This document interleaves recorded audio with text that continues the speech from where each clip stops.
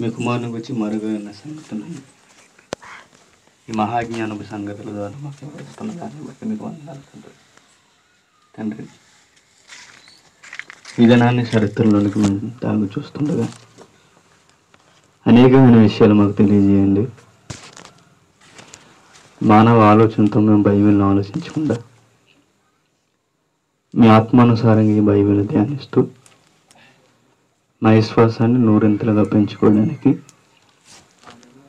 మీ ఆలోచన ప్రకారం మమ్మల్ని నడిపిస్తారని ఆశిస్తున్నాం తండ్రి చెబుతున్నాం మేము సంఘం మధ్య మా ప్రదర్శన లేకుండా సంఘం మధ్య మిమ్మల్ని చూపిస్తూ సమాజానికి మీ యొక్క గొప్పతనాన్ని తెలియజేయడానికి మీ పిల్లలమైన మమ్మల్ని అందరినీ వాడుకుంటారని ఆశిస్తూ క్రీస్తు నామాన్ని ప్రార్థన సమర్పిస్తున్నాం తండ్రి. ఆమేన్. వార్త. మొదట అధ్యాయం. మొదటి వచ్చిన నుండి. అబ్రహాము కుమారుడగు దావీదు కుమారుడగు యేసుక్రీస్తు వంశవలి మత్తయ్య గారి యొక్క ఉద్దేశం ఏంటంటే క్రీస్తు యూదుల వంశావళి నుండి వచ్చినవాడు యేసుగా పుట్టిన నజరేయుడైన యువకుడు ఆయన క్రీస్తు క్రీస్తైన ఈయన యూదుడు. ఎలా యూదుడు?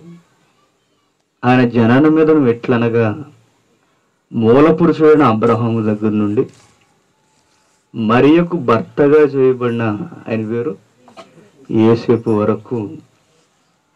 ఆయన జననం మరే గర్భంలో నుండి భూమి మీదకి ఎలా ఉద్భవించిందో తెలియజేయడానికి మత్స్య సువార్త మొదట అధ్యాయం మనకి సాక్ష్యాలతో సహా వంశావళి గ్రంథంగా మనకు కనబడుతుంది దీనికి ఉన్న క్యాలివర్ ఏంటో ఇప్పుడు చెప్తాను చేస్తానంటే మొదటి అధ్యాయానికి. నిన్న నిన్న మొన్న న్యూస్ పడిందట. ఇరవై? బుధవారం. మళ్ళీ ఆనంద భారత్లో మీటింగ్ ఎట్లా? పెట్టగలరు లక్ష ఇరవై వేలు అయిపోతుంది ఎవడాడతాడు చెప్పండి అందుకే ఆ జాలు యేసుక్రీస్తు వివాహితుడా అన్న దాంట్లో పూర్తి హిస్టరీ మనం వివరించాం. ఇంకొకటి వచ్చాడు పిచ్చి పుల్లయ్య. వీడేంటి గణేష్ అటు ఇడుతారు హిస్టరీ తెలియని వాళ్ళు ఎవరైనా ఉన్నారండి ప్రపంచం మీద? ఫస్ట్ మీకు ఎవరు గుర్తురావు తెలుసా? చెప్పండి. ఇండియన్స్ వీళ్ళకి నూతులు గప్పల్లాగా చుట్టూ ఉన్న వాటిని చూస్తారు తప్ప వరల్డ్ హిస్టరీ తెలియదు వరల్డ్ హిస్టరీ తెలియాలంటే ఏం తెలియాలి? దానికి అనుసంధానమైన గ్రంథ రచనలు తెలియాలి. ఆ అనుసంధానమైన గ్రంథ రచనలకు మించి మాట్లాడుతున్న బైబిల్ తెలియాలి. అది ఒక హిస్టరీ బోధిస్తున్న ఒక వ్యక్తికి ఉండవలసిన స్టాండింగ్ ఈయనేంటి? అసలు మీరు క్రైస్తవ హిందూ మతంలో ఒక భాగం. యేసుక్రీస్తు తమిళ హిందూ కుటుంబంలో జన్మించారు. కాశ్మీర్లో సమాధి స్థితి పొందారు. ఆయన స్థాపించిన క్రైస్తవ మతం హిందూ ధర్మంలో అంతర్భాగమని చెబుతున్నాడు. వినడానికి విచిత్రంగా ఉన్న ఎవడు మనకి ఈ మాట అన్నది ఎవడు? ఎడిటర్. ఎవడు? ఆంధ్రజ్యోతుడు ఒక విషయం చెప్పనా? రాసినోడికి ఏం తెలియదు అక్కడ గ్రంథం రాసినోడికి అస్సలు ఏం తెలియదు ఇంతకు ముందు ఒక ఆయన అన్నాడు. ఆయన పేరు నాకు గుర్తులేదు. వివాహితుడని రాసింది ఎవరు? లియో టాలెస్ట్రే అవడం ఉంటాడు. సరే గుర్తులేదు కానీ ఈ భక్తుల పేర్లు గుర్తుండలేండి. వాడు Joseph and Asenath the lost gospel Jesus Christ ఇది బిగ్గెస్ట్ బైబుల్ స్టోరీస్ అంటే రసిడ్ book Joseph and Asenath Joseph అంటే ఎవరు? ఏసేపు ఏసేపు ఎవరు? పాత నిబంధనలో యాకోబ్ ఒక ఆయన ఉన్నాడు సార్. మీకు మన పబ్లిక్ మీడియాలో చెప్పండి సార్. ఆయన. ఆయనకున్న భార్య ఎవరు? అసినత్. అసినత్ ఎవరు? ఈజిప్ట్ గారు. తెలుసు కదా అంత హిస్టరీ? ఇప్పుడు ఈ జోసఫ్ అండ్ అసినత్ని కోట్ చేస్తూ the lost gospel Jesus Christ అని చెప్పి Jesus Christ is marriage in Mary Magdalene అది గాస్పల్ యొక్క సారాంశం. ఎలా చెప్తున్నావు ఈ గాస్పల్ నీకు ఎలా బేస్ అంటే జోసఫ్ అండ్ అసినత్ని కోట్ చేస్తే ఇక్కడికి వచ్చిన ఆన్సర్ ఏంటంట? జోసఫ్ జోసఫ్కి అసినత్ ఎలా భార్య అయిందో జీజస్కి ఇప్పుడు ఎవరు భార్య అయ్యారట? మేరీ మగ్ధలేని ఏంటి నీకు ఎలా చెప్పగలుగుతున్నావు అంటే నాకున్న బేసల్లో ఒకటి యేసుపు జీవితాన్ని యేసు జీవితాన్ని గమనించి కోడీకరించి చూస్తే కోడ్ లాంగ్వేజ్లో చూస్తే వాడికి వచ్చిన కోడ్ ఏంటి? యేసుక్రీస్తు అంతా మగ్ధలేని మరిని పెళ్ళి చేసి ఇటు చూసాడు మరి వెళ్ళి. మగ్ధలేని మరిని పెళ్ళి చేసుకోవడానికి అసలు దాన్ని ఎవడు కోడ్ చేయమన్నాడు అసలు? ఎవరిని పడతాను కోడ్ చేస్తావేంటి అసలు కోడింగ్ అనే పద్ధతి దేనికి సంబంధించింది? రీజనింగ్ లేదా అర్థమెటిక్? దానికి సంబంధించిన ఆ మెథడ్స్ జీవిత సరళిలో ఎందుకు ఉపయోగిస్తున్నాం అసలు? గణిత శాస్త్రం ఉందనుకోండి. రెండు వేలు నాలుగు. ఎందుకు రెండు వేలు నాలుగు అండి అని అడగండి. అది అంతే రెండు వేలు నాలుగు. గణిత శాస్త్రాన్ని క్వశ్చన్ వేసుకోనికి ఆన్సర్ ఉండదు ఉంటుందా? రెండు వేలు నాలుగు ఎందుకండి? గణిత శాస్త్రం దగ్గర క్వశ్చన్స్ ఉండవు ఆన్సర్లో ఉంటాయి. ఎందుకు నాలుగు అసలు? అసలు నాలుగు ఎలా అయింది?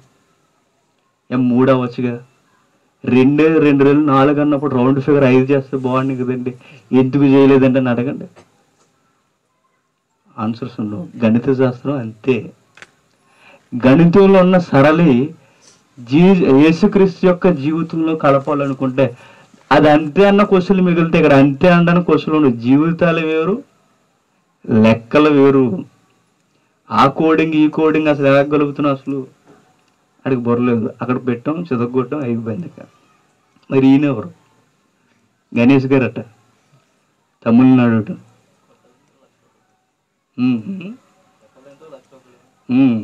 ఫైట్ చేయడానికి రెడీ లక్ష ఉంటాయి. వదిలేండి ఇలాంటి ఫైట్లు వేస్ట్ కానీ తెరసి ఇలాంటి న్యూస్లు ఉన్నాయనుకోండి కనీసం బైబిల్ బేస్ ఉందనుకోండి కనీసం బైబిల్ అవగాహన ఉందనుకోండి క్రిస్టియన్స్కి. కరెక్ట్ ఆన్సర్ పట్టుకోగలరు. బైబిల్ మీద గ్రిప్ లేని లేవనుకుంటారు చెప్పండి? ఇంక ఈ క్లాసుల వాల్యూ ఇలాంటి వల్ల ఇలాంటివి పడినప్పుడు తెలుస్తుంది. అవునా కదా? ఇలాంటివి పడుతుంటారు చూసారా? క్రైస్తవం ఎందుకు తక్కువైపోతుందంటే అనకూడదు కానీ ఏమీ తెలియని వాళ్ళు బైబిల్ పట్టుకున్నారంటే. అక్కడే క్రైస్తవం సన్నగిల్లిపోయింది.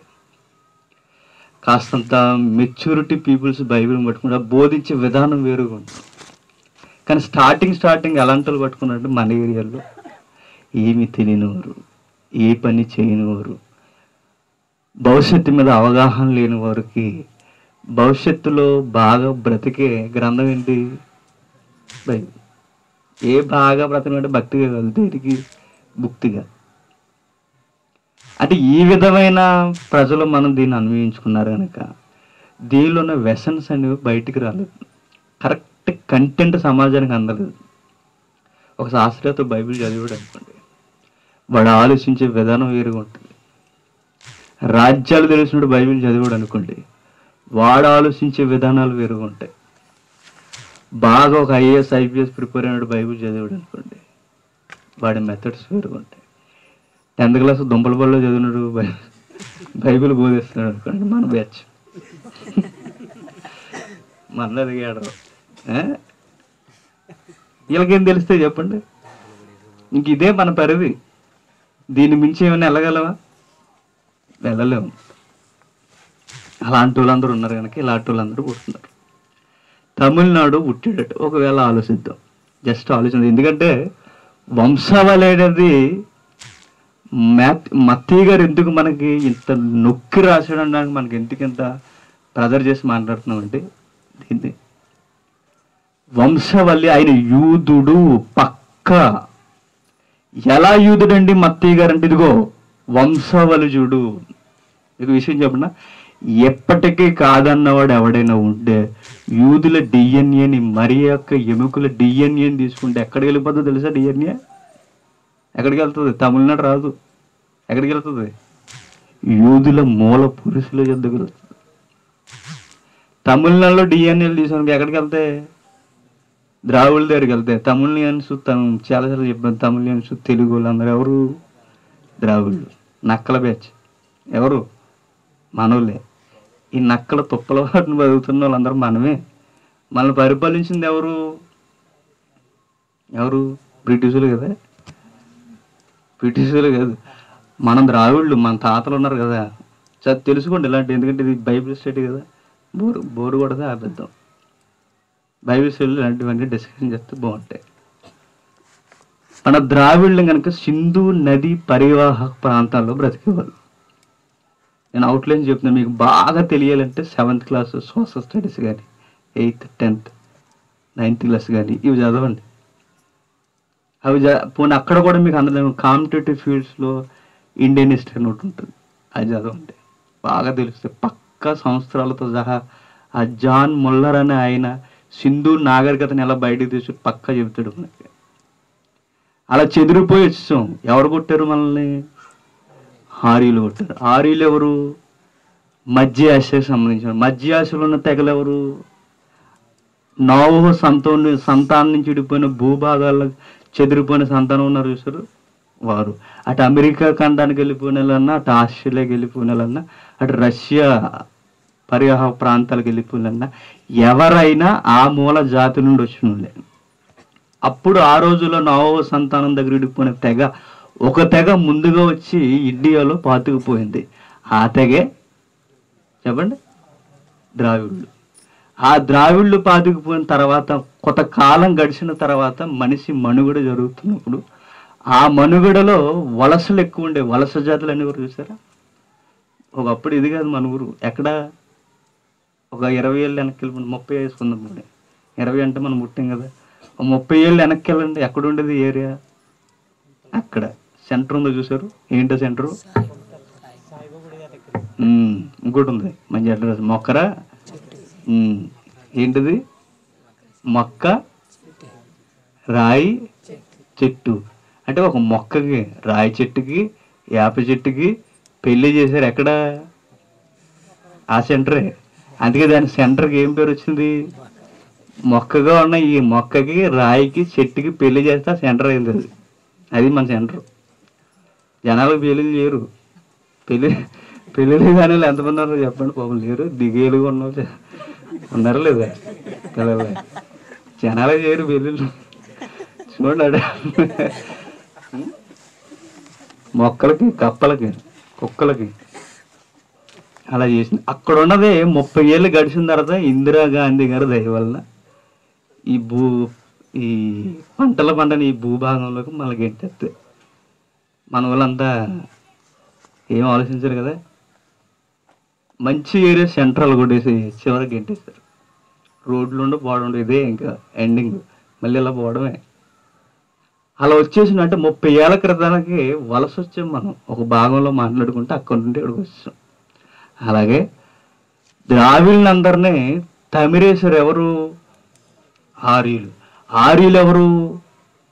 అప్పుడు నార్త్లు బతున్నారు చూసారు? తెల్లగా ఎత్తుకుంటారు వాళ్ళు ఆ కలర్ వాళ్ళకి ఎలా వచ్చింది? అసలు ఆ జాతి ఒకే ఇండియన్స్ ఉన్న వాళ్ళు నార్త్లో ఉన్న వాళ్ళు ఒకలా ఉంటారు సౌత్లో ఉన్న వాళ్ళు ఒకలా ఉంటారు సౌత్లో ఉన్న మనం చూడండి అంత జిడ్డు బేసులు ఉంగరాల జుట్లు మొక్కలు రకరకాలుగా ఉంటాయి మరి. ఆ చూడండి ఎలా ఉంటారు.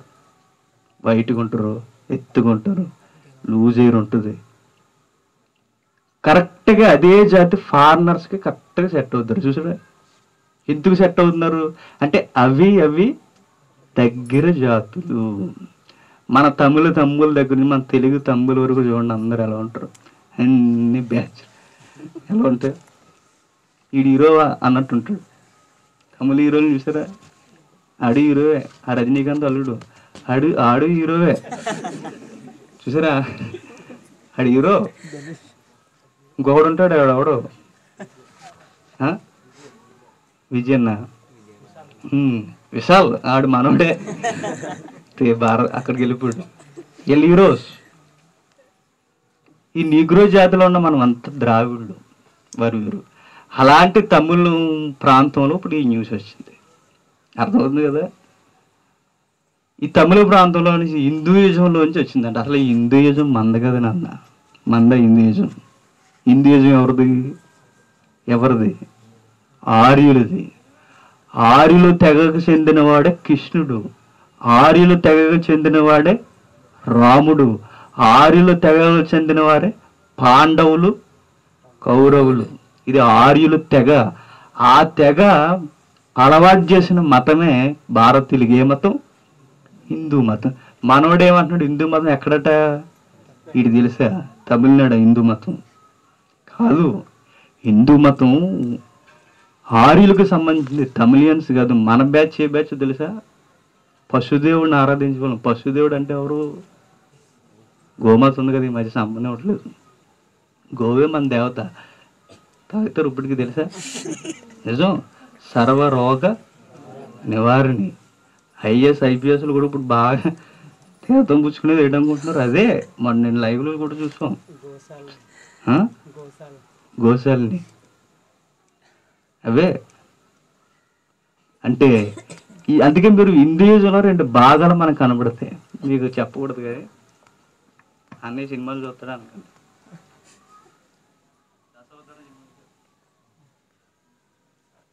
ఒకే హిందూ తెగలో శివభక్తులకి వేరొక భక్తులు.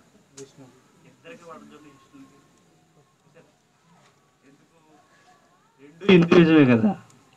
మరి ఎందుకు పడలేదు అంటే ఆ మతంలో రెండు తెగలు కలిసిపోతున్నాయి అది ఒకటి ద్రావిడ దగ్గర నుండి వచ్చిన ఆచారం ఒకటి ఆర్యుల దగ్గర నుండి వస్తున్న ఆచారం ఒకటి. శివభక్తులంతా మనోళ్ళు ఎవరు? ద్రావిడులు. విష్ణు భక్తులు ఉన్నారు చూసారు? వీళ్ళంతా ఎవరు? ఆర్యులు. అందుకే రెండింటి పసు పసుపు రెండిట్లకి హిందూజంలో కొన్ని కొన్ని వాటికి సెట్ అవ్వదు. అంటే హిందూయిజం వేరు ఇంకా దీని గురించి మాట్లాడడం వేస్ట్ కానీ హిందూయిజం వేరు. హిందూయిజంలోంచి క్రైస్తవం వచ్చింది అనగా అసలు ప్రూఫ్సే లేవు. ఆయన సమాధి కాశ్మీర్లో ఉందనడానికి అసలు ఆధారాలే లేవు. ఆయన యోగా నేర్చుకున్నాడట. కింద చూసారా? యోగా ఎవరు? యేసుక్రీస్తువారట యోగా యోగా నేర్చుకున్నాడట. ఇంకే ఏం మెన్షన్ చేశారు? ఇలా రకరకాల కామెంట్స్ మనం కనబడుతున్నప్పుడు ఇది ఎంతవరకు నిజమని మనం ఈజీగా ఇలా కొట్టుపడేయాలనుకోండి మనకి ఏం తెలియాలి? బైబిల్ బాగా తెలియాలి. అదే మత్తయ్య గారు సువార్త మొదట అధ్యాయానికి ఉన్న దమ్ము అదే. అర్థమవుతుందా? ఇలాంటి ఆటని అన్నిటిని బ్రేక్ చేసి పడేస్తుంది. ఎందుకు? అక్కడ వంశావళితో సహా మనకు కనబడుతుంది. ఇతనే వంశం చూపిస్తాడు చెప్పండి. ఏ వంశం జీవించగలడు ఇతను? ఈయన తమిళ్ళో పుట్టాడు బ్రాహ్మణ కుటుంబంలో పుట్టాడని చెప్తున్నాడు. అసలు బ్రాహ్మణ కుటుంబంలో పుట్టినోడు ఎరుసలేములోకి వెళ్ళి ఎలా సిలివేయించుకుంటాడు అసలు. కనీసం ఉండాలి కదా. ఇక్కడ పుట్టిండి అక్కడికి వెళ్ళి ఎలా సిలివేయించుకున్నాడు అక్కడి నుండి మరలా సుగంధ ద్రవ్యాలు తినంట ఒక జాతి ప్రజలు బ్రతికించి మళ్ళీ కాశ్మీర్ తీసుకొచ్చేసారట కథలు భలే చెప్తారండి. ఇలాంటి ఎందుకు ఈ ఒక్క సొంతం మాట్లాడతారు చెప్పనా?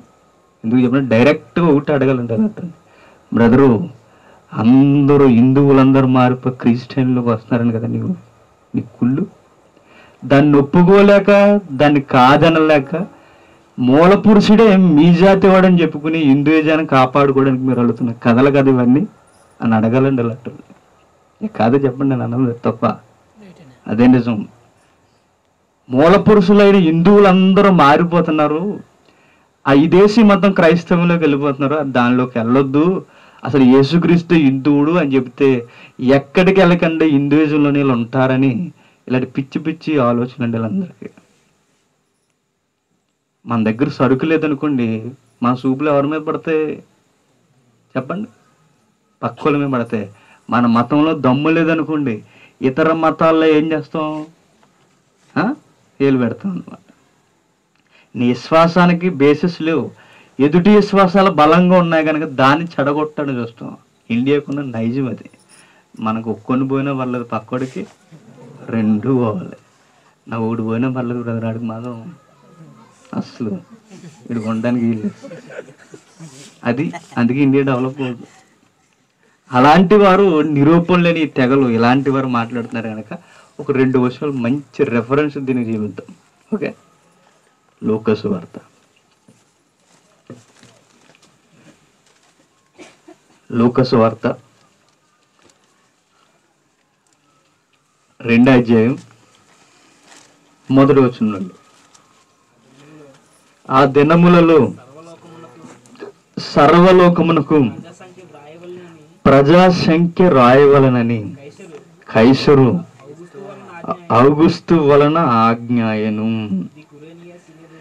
ఇది కురేనియా సిరియా దేశమునకు అధిపతి ఉన్న ఉన్నప్పుడు ప్రజా సంఖ్య మొదటి వచ్చినాన్ని లోకా గారు ఎలా పరిచయం చేస్తున్నారు చూడండి.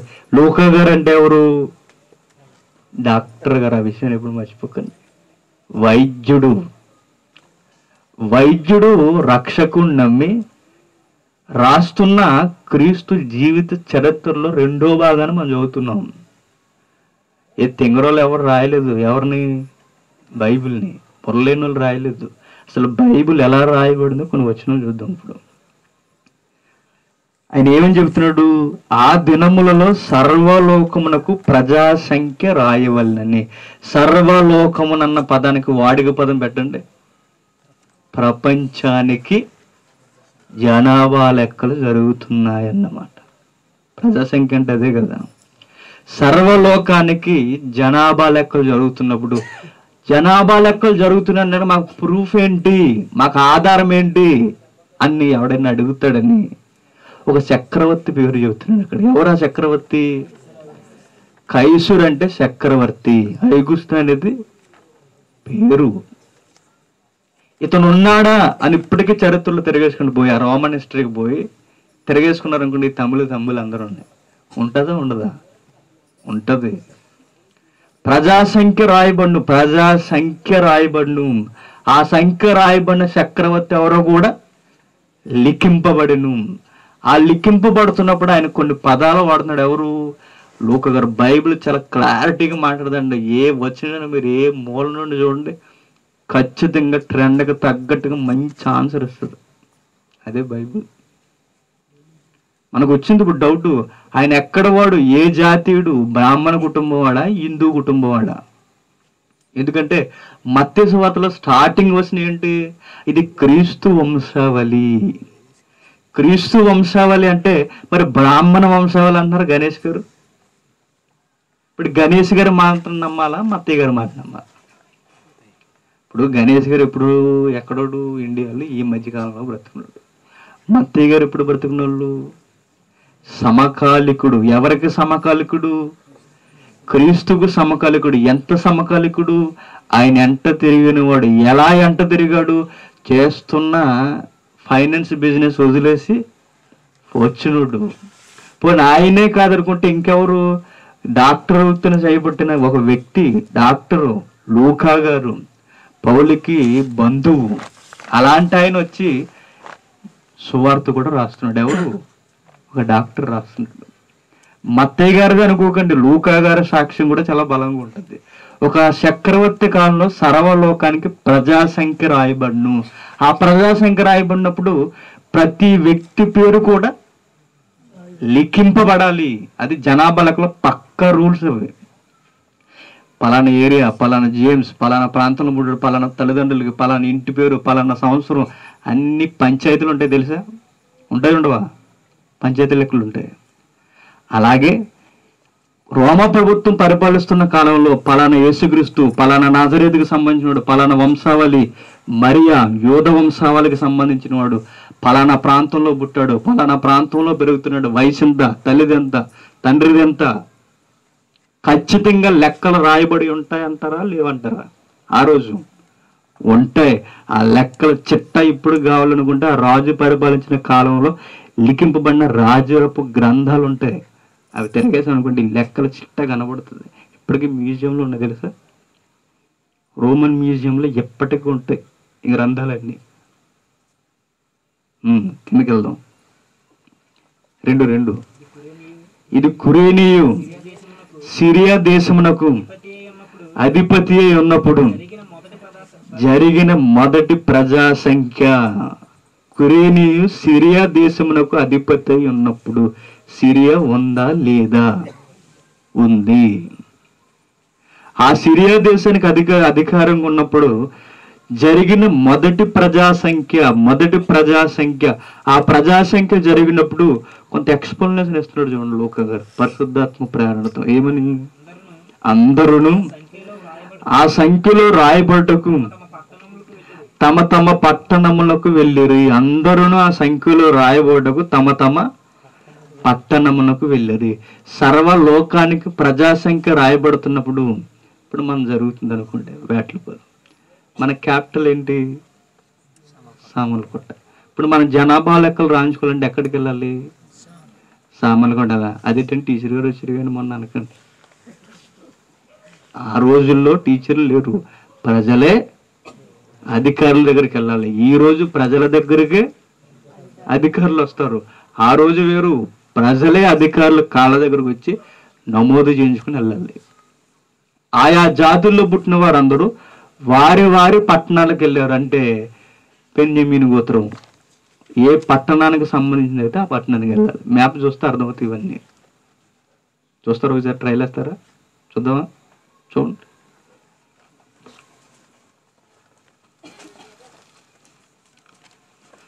ఇజ్రాయేల్ గోత్రములు తెలుపు పాలస్తీన పటం. అనందు చూడండి. రూబేన్ నెంబర్ ఎంత? మొదటిది.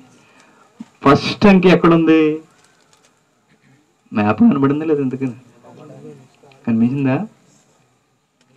ఇజ్రాయేల్ అంటే అబ్రహాం గారు ప్రయాణం చేసిన తర్వాత ఇంకొక మ్యాప్ ఉంది. అది ఇజ్రాయేల్ గోత్రములు తెలుపు పాలస్తీన పటం.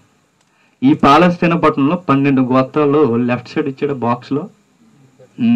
అందులో ఫస్ట్ నెంబర్కి ఏంటి పేరు? రూబేను. ఈ రూబేన్ అనే మా ఆయన మనకు కనబడాలంటే ఇజ్రాయేల్ గోత్రము తెలుపు పాలస్తీన పట్టమని ఉందా? బాక్స్ ఉందా? ఆ బాక్స్ ఒక్కసారి అలా పైకి వెళ్ళండి.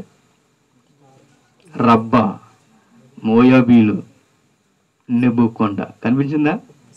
ఆ నెబు కొండ పక్కన నెంబర్ ఏముంది? ఒకటి. ఎక్కడి నుండి ఈ భావ ఈ భూభాగం గీతలు కనబడుతుంది చూసారా? పక్క నెంబర్ సరిహద్దుల వరకు ఇవన్నీ ఏడో నెంబర్ సరిహద్దుల వరకు ఈ భూభాగ సరిహద్దులన్నీ కలుపుకుంటే ఈ భాగం అంతా ఎవరిదో అవుద్ది రూబేణీలు వద్దు అనమాట ఇప్పుడు రూబేణీలు రాయించుకోవాలనుకోండి ఈ ప్రాంతానికి వచ్చి రాయించుకోవాలి జనాభా లెక్కలు నెక్స్ట్ నెంబర్ ఏముంది? పన్నెండు చూద్దాం పన్నెండు. బెన్యమీను. బెన్యమీన్ అనే పన్నెండు అంకి ఎరుసలేము ఉంది చూసారా? ఎరుసలేము రామ హాయి ఇవన్నీ ప్రాంతాలన్నీ వర్తిస్తాయి ఇప్పుడు యోధ గారు చూడండి. బెత్లహేము. ఎక్కడుంది యోధ గారి నెంబర్ ఎంత మూడు. మూడు ఎక్కడుంది? ఇదిగో బెత్తలహేం ఇచ్చింది ఒక పైన బేతులు ఒకటి ఉంటుంది కింద బెత్తలహేం ఒకటి ఉంటుంది. అంటే యూదులందరికి సంబంధించిన క్యాపిటల్ ఏంటంట బెత్తలహేము అర్థమవుతుంది నేను చెప్పేది? అర్థం లేదండి అంటే ఇంక నేను ఏం చేయలేదు. మోగల ప్రార్థనే. తండ్రి నా కొడుక్కి నా తమ్ముడికి మరి జ్ఞానాన్ని ఎలా అయినా సరే. ఇవ్వాలి తండ్రి అంటే అర్థం చేయలేదు లేదు ఎందుకంటే మరి వివరించడం మన వల్ల అవ్వదు. ఎందుకంటే మన ఎంఎస్సీలు ఎంసీఏలు ఏమి? టెన్త్ క్లాస్ ఆ తర్వాత ఇంటర్మీడియట్ డిగ్రీ కట్ మిగిలిన బ్యాచ్ చదువుతున్నారు. మాకన్నా మీరు చదువుతారు నన్ను అడిగితే. అందుకు బాగా వినండి. నాకు తెలిసి మీరు బాగా ఎదుగుతూ మాకన్నా బైబిల్ బాగా చెప్తారు. అనుకుంటున్నాను ఖచ్చితంగా. పండు కూడా సూపర్ మాట్లాడుతున్నారు పదాలు అసలు ఆడు మాట్లాడలేడు అనుకున్నాను సూపర్. ఓకే? బెత్తలహేం ఇప్పుడు బెత్తలహేము ప్రాంతం ఎవరి క్యాపిటల్? యూదుల క్యాపిటల్. అంటే యూదులకి ముఖ్య పట్టణం బెత్తలహేం ఎందుకు ముఖ్య పట్టణం అంటే ఎలా ఫేమస్ అయిపోయిందంటే మీకు తెలుసు. దావీది గారి పురం కూడా అక్కడే ఆ ప్రాంతంలో రాజులు వెలసిన కాలం గనక రాజులకు మూల పురుషుడు దావీది గనక ఆ ప్రాంతం అలా అలా డెవలప్ అయిపోయింది. యహోత్సవ కాలంలో కూడా భూభాగం అది వచ్చింది కనుక అదంతా దేవుని అనాది సంకల్పం. ఇంకా అదంతా ఇప్పుడు అవద్దు ఇప్పుడు యూదులకి రాజధానికి ఏది పిలువబడుతుందంటే బెత్తలహేయం మిగిలిన గోత్రాలకు ఆయా గోత్రాలకు ఆయా గోత్రాల ప్రకారం ఆయా ప్రాంతాలకి జనాభా లెక్కలు నమోదు చేయించాలి ఇప్పుడు ఒక్కసారి లోక గారి దగ్గర వద్దాం. రండి. రెండా జేబ్ లూకస్ వార్త రెండా జేబ్ మూడో వచ్చిన అందరూ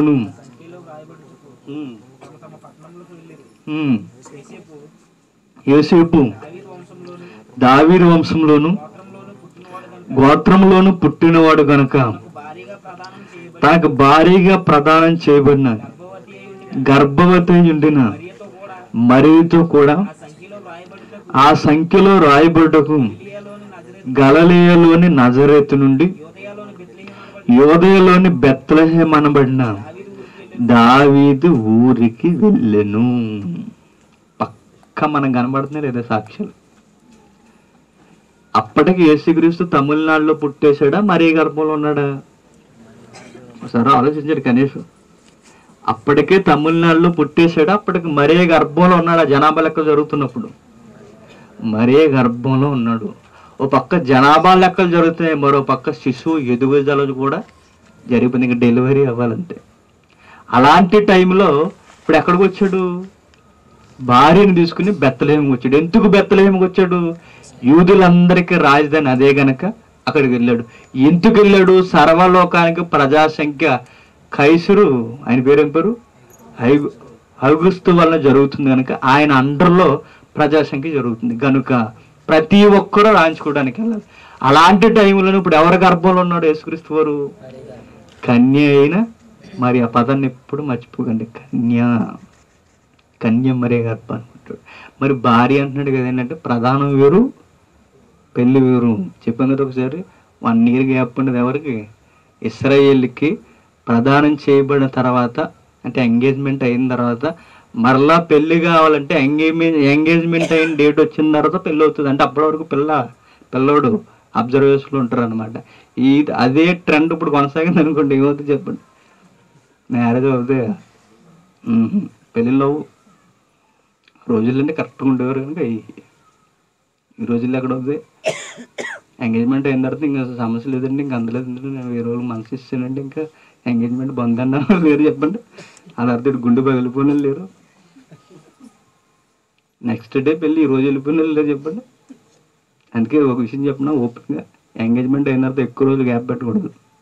పెళ్ళి చేసుకోవడం చాలా మంచిది. అనుభవానికి అనకండి ఇంకా. ఇంకంతే ఇంకా. కేసులుగా వస్తాయి కదా మాకు. అది.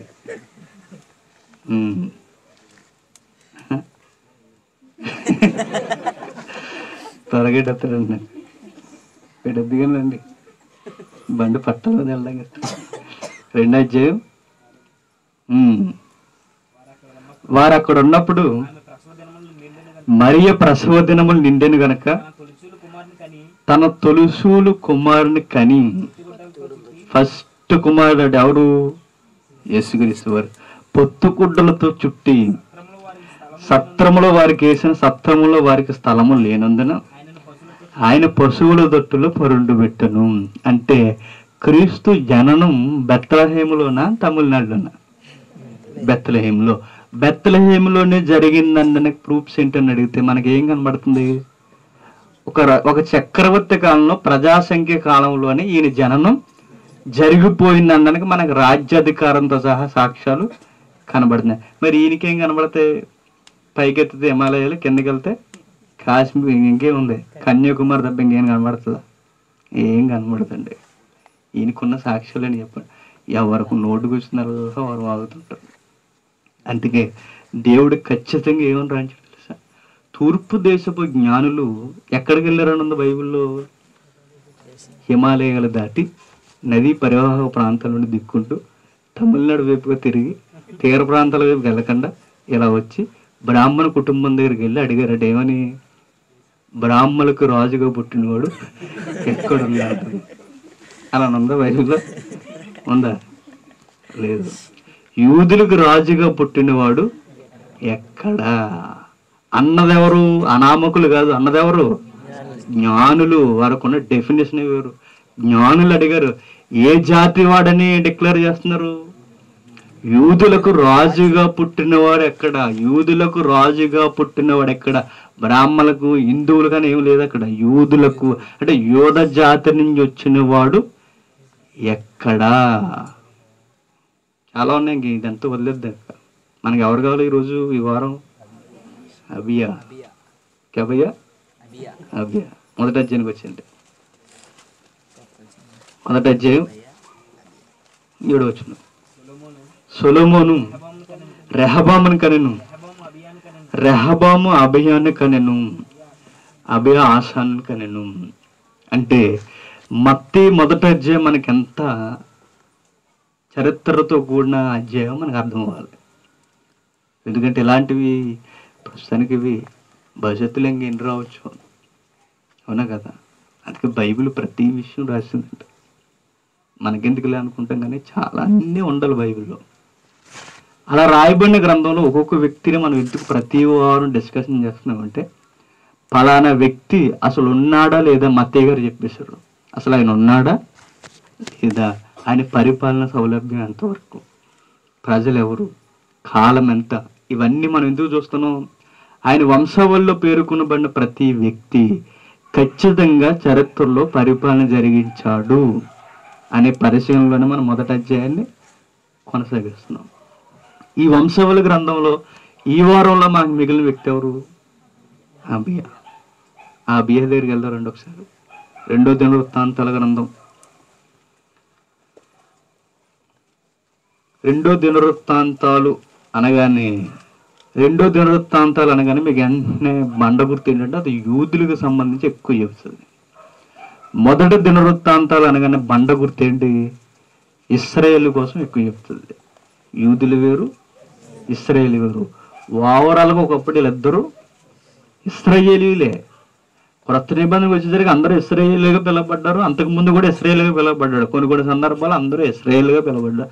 కానీ ఎడగొట్టి మాట్లాడితే మాత్రం యూదులు వేరు ఇస్రాయేల్ వేరు. అందుకే యూదుల రాజుల గ్రంథం యూదుల రాజుల పరిపాలన కోసం రెండో దినవృత్తాంతాలు మనకు ఎక్కువ చెప్తుంది.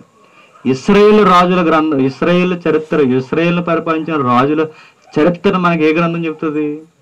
మొదట దినవృత్తాంతాలు చెప్తుంది. అంటే యూదుల కోసం ఒక గ్రంథం చెప్తుంటుంది ఇస్రాయేల్ కోసం ఒక గ్రంథం చెప్తుంటుంది. అర్థమవుతుంది కదా?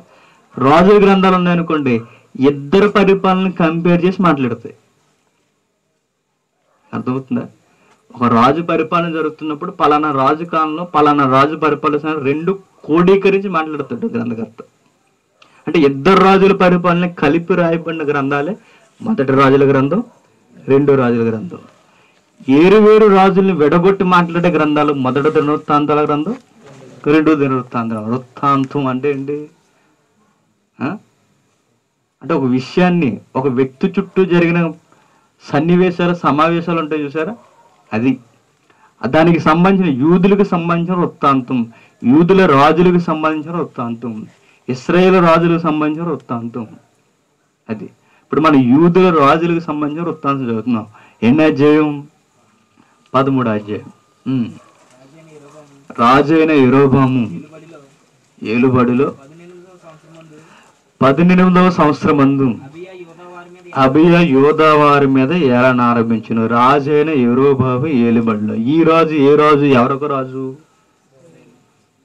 ఇస్రాయేల్కి రాజు.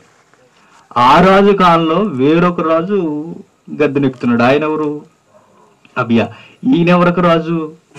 యూదుకు అంటే ఈ రాజు వచ్చాడు తెర మీద అనడానికి ఏ రాజు కాలాన్ని తీసుకుంటున్నప్పుడు గ్రంథకర్త? ఇస్రాయేల్ రాజుల గ్రంథ ఇస్రాయేల్ రాజు యొక్క కాలమానాన్ని తీసుకుంటున్నాడు. ఆయన కాలమానాన్ని ఎందుకు తీసుకుంటున్నాడు? ఈయనకన్నా ముందే ఆయన పరిపాలన జరిగిస్తున్నాడు. అంటే ఈయన కాలాన్ని ఈయన గమనాన్ని ఎవరి గమనంతో ముడిపెడుతున్నప్పుడు గ్రంథకర్త? అప్పటికే పరిపాలిస్తున్న రాజుతో పరిపా క్యాలిక్యులేషన్ చేస్తున్నాడు అనమాట అది పరిచయం. ఆయన చెప్పి ఏం చెప్తున్నాడు అనుకుంటాం మనం. అంటే మన కాలం ఖచ్చితంగా తేలడానికి ఈ మహాజ్ఞానులు ఉపయోగించిన పదజాలాలు ఓకే? కిందికి. అతడు ఎవరు? అబియా. మూడు సంవత్సరాలు ఎరుసలేమునందు ఏలెను. అతని తల్లి పేరు మేక. ఆమె గిబియా.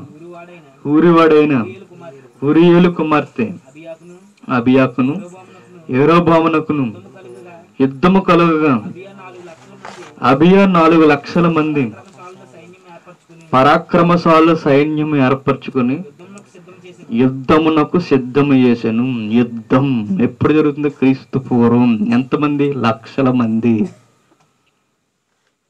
ఒక డౌట్ అడుగుతారు ఎవరు? నాస్తికులు. బైబుల్ నమ్మక హిస్టరీ నమ్ముతున్న వాళ్ళు లెక్కలు అడుగుతారు ఇండియా జనాభా పంతొమ్మిది వందల నలభై ఏడుకి ఎంత? ఎంత?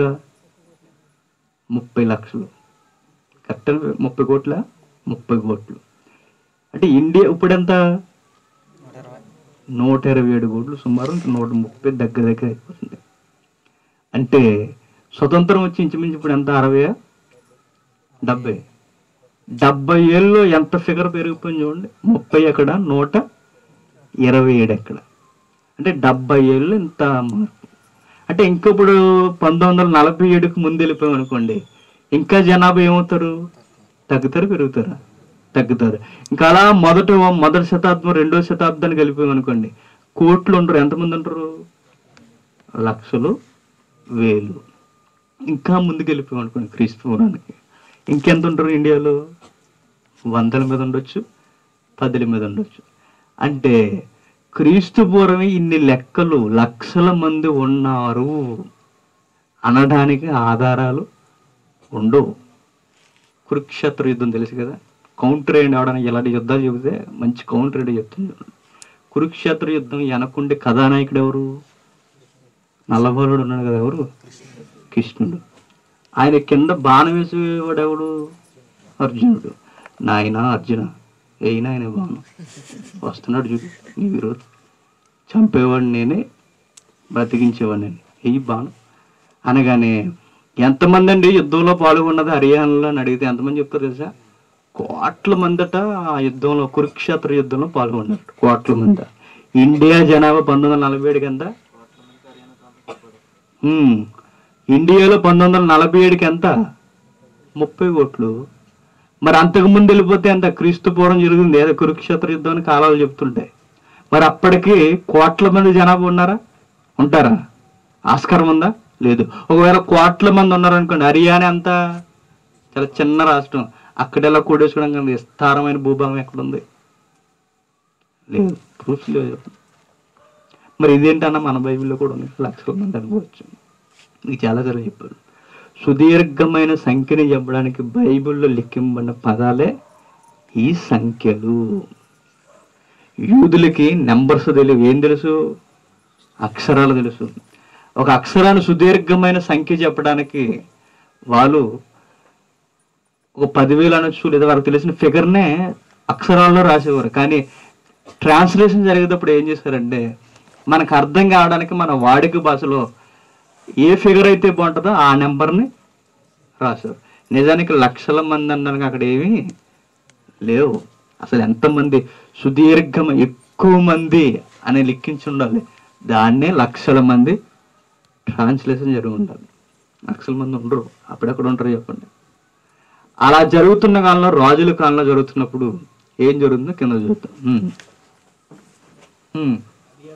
అర్థమవుతుందా చెప్పేది? ఓకేనా?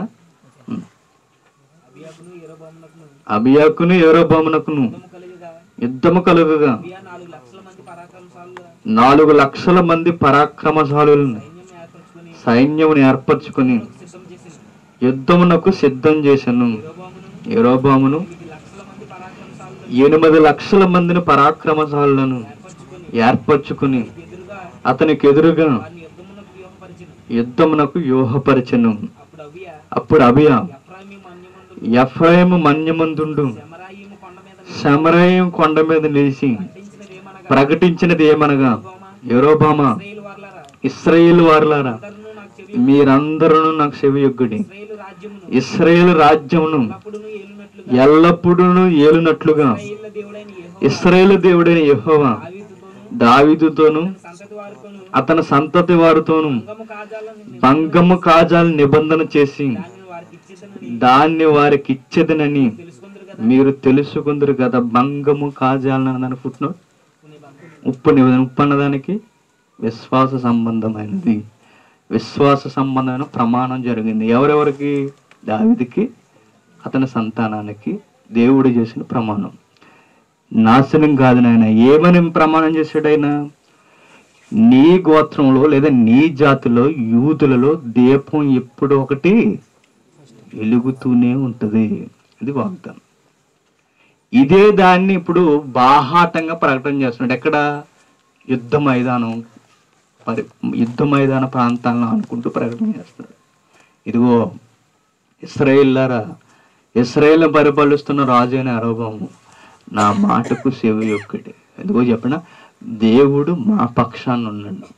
మా పక్షాన్ని ఉండాడు అన్- ఉన్నాడు అనడానికి అధికారం ఏంటంటే ఆయన దావీదికి ఒక నిబంధన చేశాడు. దాన్ని ఆధారం చేసుకుని మాట్లాడుతున్నాను అంటాడు ఎవరు? ఆ? అభియమ్ము మాట్లాడండి పర్లేదు ఫోన్ చేశారు కదా? నేను చేయలేదు ఈ నుంచి వచ్చాను ఆయన చెబుతూ చెబుతూ ఏమంటాడంటే ఇది ఒక ప్రకటన దేవుడు దేవుడు నాతో చెప్పాడు. ఒక విషయం చెప్పిన? అసలు ఈ రాజు భక్తిపరుడే కాదు. కానీ యుద్ధానికి ముందు ప్రకటనగా ఎవరిని వాడుకుంటున్నాడు? ఎవరిని? దేవుణ్ణి వాడుకుంటున్నాడు. నిజం. యుద్ధాల్లో కానివ్వండి రాజ్యాన్ని నిలుపుకోవడానికి కానివ్వండి పదవులు కాపాడుకోవడానికి కానివ్వండి వీళ్ళంతా ఆ రోజు నుంచి ఈ రోజు వరకు అందరు ఎవరిని ఉపయోగించుంటారు చెప్పండి. దేవుణ్ణి. ఓట్ ఎలక్షన్స్ జరుగుతున్నప్పుడు రాజకీయ నాయకులు అందరూ చర్చలు సంప్రదిస్తారు తెలుసా ఎందుకు? ఆ ప్రభు దయ వల్ల last year five years last five years back నేను పదవిలోకి రావడానికి కారణం మీ ప్రభువేనండి. ఆ ప్రభు దయ వల్ల నేను ఈ పదవిలోకి వచ్చాను. జడ్పీటీసీ అయ్యాను. లేదంటే ఆ ప్రభు లేకపోతే నాకు పదవే. లేదని అయ్యగారే చెప్పినాను నేను అయ్యగారు ఏమనుకుంటారు? ఇదిగో ఇండిపెండెంట్గా నిలబడ్డాడు. ఎవరు? మనోడు. ప్రభు దైవాలు అవుతాడట ఈసారి. అంటున్నారు అనగానే అయ్యగారు అనగానే ఇప్పుడు క్రైస్తవ ఓట్లు అన్నీ ఎక్కడ పడతాయి చెప్పండి? ఎక్కడ? ఈ అయ్యగారి కోటల్లో పడతాయి. ఈ అయ్యగారు కోటలో పడాలని ఈ అయ్యగారు ఈ అయ్యగారికి ఏం చెప్తున్నారు? ఏం చెప్తున్నారు? మధ్యలో ఎవరిని ఉపయోగించుకుంటున్నారు? దేవుణ్ణి. చూసారు? అధికారం కోసం ఎలాంటి గడ్డైనా తింటారు. అవసరమైతే దేవుణ్ణి అడ్డంగా వాడుకుంటారండి. భయం ఉండదు తెలుసు అధికారంలోకి వచ్చిన వాళ్ళకి భయం భక్తి. నిన్న మొన్న నిన్న మొన్న కానీ జగన్ గారు ఏం చేస్తున్నారు? దర్గా కడప దర్గాకి వెళ్ళి ఏం చేస్తున్నారు గురువు గారు దర్గా దగ్గర ఏం చేస్తారు? ఆసనాలు ఎత్తారు కదా? వేసేస్తున్నారు. కానీ ఆయన అంటే క్రైస్తవులు ప్రతి వారం చర్చికి వెళ్ళి మన జడ్బిటీసీ గారు కూడా అక్కడికి వెళ్ళిపోతుంటారు. ఎక్కడికి? హిందువుల దగ్గర ఏం జరిగిన ఫస్ట్ భోజనాల బంధువులు ఎవరు ఉంటారు? ఈయనే మన సంఘంలో ప్రెసిడెంట్ కూడా ఈయనే మళ్ళీ. అంటే చూసారు ఎలా అయిపోతుందో చూడండి మొత్తం. అంటే అధికారం కొరకు అవసరమైతే దేవుణ్ణే వాడుకుంటాడు. ఇప్పుడు యుద్ధానికి ముందు సైన్యాన్ని ధైర్యపరచడానికి లేదా ఇస్రాయేల్ ముందు యూదులు జయం పలకడానికి ఏమైనా ఎంకరేజ్ చేస్తాడు చెప్పండి? దేవుడు మన పక్షాన్నే ఉన్నాడు. అంటే మతాన్ని వాడుకొని ఎంత పెద్ద యుద్ధాన్నైనా జరిగించ జరిగించొచ్చని ఆ రోజు సైన్యాధిపతులకు బాగా తెలుసు. మతం అనేది మనిషిని కట్టడ చేసి ఉంచుతుందని రాజులందరికీ తెలుసు. మతంలో ఉన్నంత ఐక్యత మనుషుల మధ్య ఉండదు తెలుసా మీకు ఎప్పుడైనా? ప్రతి ఒక్క రాజకీయ నాయకుడు ప్రతి ఒక్క లీడరు ఏ దేన్ని అడ్డెట్టుకుంటారు చెప్పండి. ఏదో ఒక మతాన్ని కలుపుకుంటుంటారు. ఎందుకు? ఖచ్చితంగా మన మాటలు వినకపోయినా మతంలో జరిగే కొన్ని పండుగలు ఖచ్చితంగా వీళ్ళంతా ఒకటవుతారు అందుకే మతాలను వాడుకుంటారు. అందుకే వీడు కూడా ఏం చేస్తున్నాడు తెలుసా? యుద్ధానికి ముందు దేవుడిని వాడుకుంటున్నాడు. అసలు వీడు మంచోడు కాదు అసలు వీడి క్యారెక్టరే బాగోదు. మీకు ఒక్కసారి కిందకి వెళ్ళి రాజుల్లోకి వెళ్దాం. అయినను దావీదు కుమారుడైన సొలోమోనుకు దాసుడును. పాత కుమారుడు ఏరోభము పనికిమాలిన దుష్టులతో కలిసి పనికిమాలిన దుష్టులతో కలిసి లేచి తన యజమాని మీద తిరుగుబాటు చేసెను. సొలొమోను కుమారుడైన రెహబాము. కను బాల్యదశలో నుండి ఇంకను ధైర్యము లేనివాడై వారిని ఎదిరించుటకు తగిన శక్తి లేకున్నప్పుడు వారు అతనితో యుద్ధం చేయుటకు సిద్ధమైరి. ఇది ఎవరెవరితో చెప్తున్నారు అభియా యోరాబాంతో చెప్తున్నాడు. అంతేనా? అభియా యుద్ధానికి వెళ్ళే ముందు యోరాబాంతో చెప్తున్నాడు. ఏ సంగతులు చెప్తున్నాడు? మా తాత సొలోమోను జ్ఞానం కలిగేవాడు ఉండేవాడు. మా నాన్న రెహబాము తెలివైనడు కాదు. మా నాన్న పోకిరీలు అందరితో చేతులు కలిపాడు గనక. పరిపక్వత లేని రోజుల్లో మా నాన్న రాజు అయ్యాడు గనక. మా నాన్న రాజు అయిన రాజుని మీరు ఈజీగా ఓడించేశారు. అది చెబుతున్నాడు ఇప్పుడు బ్యాక్ హిస్టరీ అంతా మాట్లాడుతున్నారు ఎవరు? అభియా ఇప్పుడు దావీ సంతతి వారు యుద్ధం చేయి తగించదమని తలంచుచున్నారు. మీరు గొప్ప సైన్యముగా ఉన్నారు. యెహోవా మీకు దేవతలుగా చేయించిన యారోబాము మీకు దేవతలుగా చేయించిన బంగారు దూడలను మీ బంగారు దోళ్ళు మీ ఎద్దున్నవి ఆడ ఏమని అంటున్నాడు చూడండి భక్తి మాట్లాడంటే ఇప్పుడు దావిదు సంతతి వారి వశమునున్న యహోవ రాజ్యము. మనం దేవుని వశంలో ఉన్నామా? మన వశంలో దేవుడు ఉన్నాడా? అర్థమవుతుందా? అక్కడ ఏమన్నాడు? ఒకసారి చదవండి ఒకసారి ఆగి విడగొట్టి ఒకసారి ఆలోచించండి. యహోవా రాజ్యముతో యుద్ధము చేయ చేయి తెగించదమని తలంచుచున్నారు. దేవుని వశంలో మనం ఉంటామా? మన వశంలో దేవుడు ఉంటాడు? అవునా? భక్తి లేనివాడు మాటలు ఎప్పుడు ఎలా ఉంటాయి? పొడి పొడిగా ఉంటాయి. భక్తి ఉన్నవాడు మాటలకి ప్రభావం ఎక్కువ ఉంటుంది. భక్తి లేని మాటలు ఏముంటుంది తెలుసా? భక్తిని మించి మాట్లాడాలనుకోండి ఏమీ ఉండదు వాడు మాట్లాడడం తప్పు. మీకు విషయం చెప్తాను. మనం ప్రార్థన చేస్తుంటాం. తండ్రి వాక్యం చెప్పే శక్తిని నాకు ఇది తండ్రి చేస్తాను చెప్ప తప్ప తప్పు కదా. చెప్పండి. మాట్లాడరే? తండ్రి ఈ దినాన్ని నీ వాక్యం చెప్తున్నాను కనుక నీ వాక్యం చెప్పే శక్తిని నాకు ఇవ్వండి అంటాం. అది అలవాటు అయిపోతుంది ప్రార్థన మనకి. అది పరిపక్వత లేని మాటలు. భక్తిలో ఎదిగిపోయినాడు ఎలా మాట్లాడుతాడు తెలుసా? తండ్రి వాక్యం చెప్పే శక్తిని కాదు తండ్రి. శక్తిమంతుడమైన నువ్వే కావాలి అంటాడు ఇప్పుడు ఎవరు గుర్తొస్తున్నారు చెప్పండి. ఎవరు గుర్తురట్లేదా యేసుక్రీస్తు గారు గుర్తొస్తారు. అంటే భక్తిలో ఉన్నప్పుడు నీ వాక్యం చెప్పే శక్తిని అన్న ఉంటే ఆ శక్తిని ప్రదర్శిస్తే ఇప్పుడు ఎవరు కనబడతారు? ఎవరు కనబడతారు చెప్పండి. చెప్పేవాడు కనబడుతుంది. శక్తిమంతుడివైన నీవే కావాలి తండ్రి అన్నది అక్కడ ఎలా ఉందో చెప్పు. తెలుసా? మనమే దేవుని మీద అనుకుంటున్నాం అంటే భక్తులు మాట్లాడారు అనుకోండి వాళ్ళ మాటలో చాలా ఆలోచనలు ఉంటాయి. ఏమీ లేడు మాట్లాడుతుంది అనుకోండి ఇంకా ఎలా ఉంటాయి. దేవుని వశంలో మనం ఉన్నాం తప్ప ఆయన మన వశంలో లేడు. ఆయన కనుసన్నంలో బ్రతుకుతున్నాం మనం. మన కన్ను సన్నంలో దేవుడు బ్రతకడు. ఆయన వేరు మనం వేరు. ఓకే. మీరు అహరోను సంతతి వారైన? యహో యాజకులను. లేవీలను త్రోసివేసి అన్య జనులు దేశము జనులు చేయనట్లు. మీ కొరకు యాజకులను నియమించుకుంటారు కదా. ఒక కోడితోను ఏడు గొర్రె పొట్టెలతోను. ప్రతి వాడు దైవములు కాని వాటికి మీ తెగలో యాజకుడు అవుతున్నాడు అయితే అయితే మాకు దేవుడై ఉన్నాడు. దేవుడు మేము ఆయనకి విసర్జించిన వారము కాము. అహరోని సంతతి వారు యహోవ సేవ చేయ యాజకులై ఉన్నారు. లేవీలు చేయవలసిన పనులు లేవీలే చేస్తున్నారు ఉదయాస్తముల యందు యెహోవాకు దహన బలు నర్పించుచు అలా ఇరవై రెండు వరకు మనకు కనబడుతుంది. ఓకే? అంటే జరిగిన విషయాలు తెలియజేస్తూ మీరు చేసిన తప్పేంటి? మేము చేస్తున్న ఒప్పేంటి? దేవుడు ఎవరి పక్షాన ఉన్నారు ఎవరి పక్షాన లేడని జరిగిన పరిస్థితులను బట్టి మాట్లాడుతున్నాడు. ఎవరు? ఎవరు? అవియ అంటే జరిగినవే చెప్తున్నాడు అనుభవంతో భక్తులు వచ్చినవి మాట్లాడలేదు. మాట్లాడట్లేదు దేవుడు మా పక్షాన ఉన్నాడు. అసలు ఈయన భక్తుపరుడే కాదు. ఒక్కసారి రాజు గ్రంథాన్ని కాదు చూద్దాం. మొదటి రాజుల గ్రంథమా? రెండో రాజుల? మొదటి రాజుల గ్రంథం. పదిహేనవ అధ్యాయం. మొదటి రాజుల గ్రంథం పదిహేనవ అధ్యాయం మొదటి వచ్చిన నుంచి. నెబాతు కుమారుడును రాజు అయిన ఏరోబావు ఏలుబడి పద్దెనిమిదవ సంవత్సరమున అభియాము వారిని ఆలనారంభించి యోదావారిని ఏలనారంభించును అతడు మూడు సంవత్సరములు ఎరుసలేమునందు రాజుగా ఉండెను. ఆమె అభిషాలము కుమార్తె.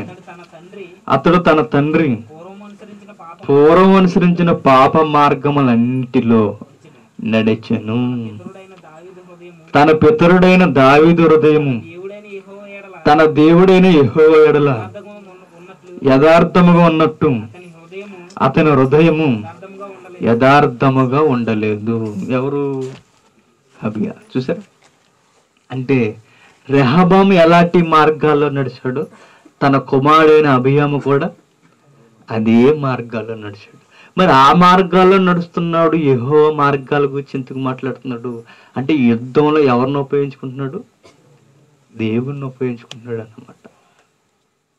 నిజానికి ఈడు మాటలను బట్టి ఆ రోజు యుద్ధం జరగకుండా ఆగలేదు. యూదుల్ని కాపాడడానికి ఇస్రాయేల్ మధ్య అంతర్గత యుద్ధం జరగకుండా ఉండడానికి దేవుడు ఆ రోజు యుద్ధాన్ని ఆపాడు తప్ప ఈడు పలుకుతున్న ప్రగల్భాల వలన ఏమీ ఆగలేదు. ఇంటికెళ్ళినారు చదవండి. అర్థమవుతుందా? ఈయన మంచివాడు కాదన్నప్పుడు గ్రంథకర్త డిక్లేర్ చేస్తున్నాడు. ఆయన నడిచిన మార్గాలన్నిటిలో నడిచాడు. ఆయన నడిచిన మార్గాలు ఏంటి పనికిమైన ప్రతి నీచ కార్యం యహోవకు విరోధమైన ప్రతి విగ్రహారాధన పచ్చని చెట్ల కింద విగ్రహాలను పెట్టి పురుష సంయోగులతో వ్యభిచారం చేయించి దేవునికి వ్యతిరేకమైన ప్రతి నీచ కార్యాన్ని జరిగించిన ఘనత ఇతన ఇతని తండ్రి అయిన రెహబోమది అదే వైఖరిలో నడిచాడంటే సేమ్ అవే చేసాడెవరు? అభియా అబియా. అందుకే కిందకు వచ్చేసరికి ఇక్కడ గ్రంథకర్త ఒక మంచి మాట అన్నాడు చూడండి.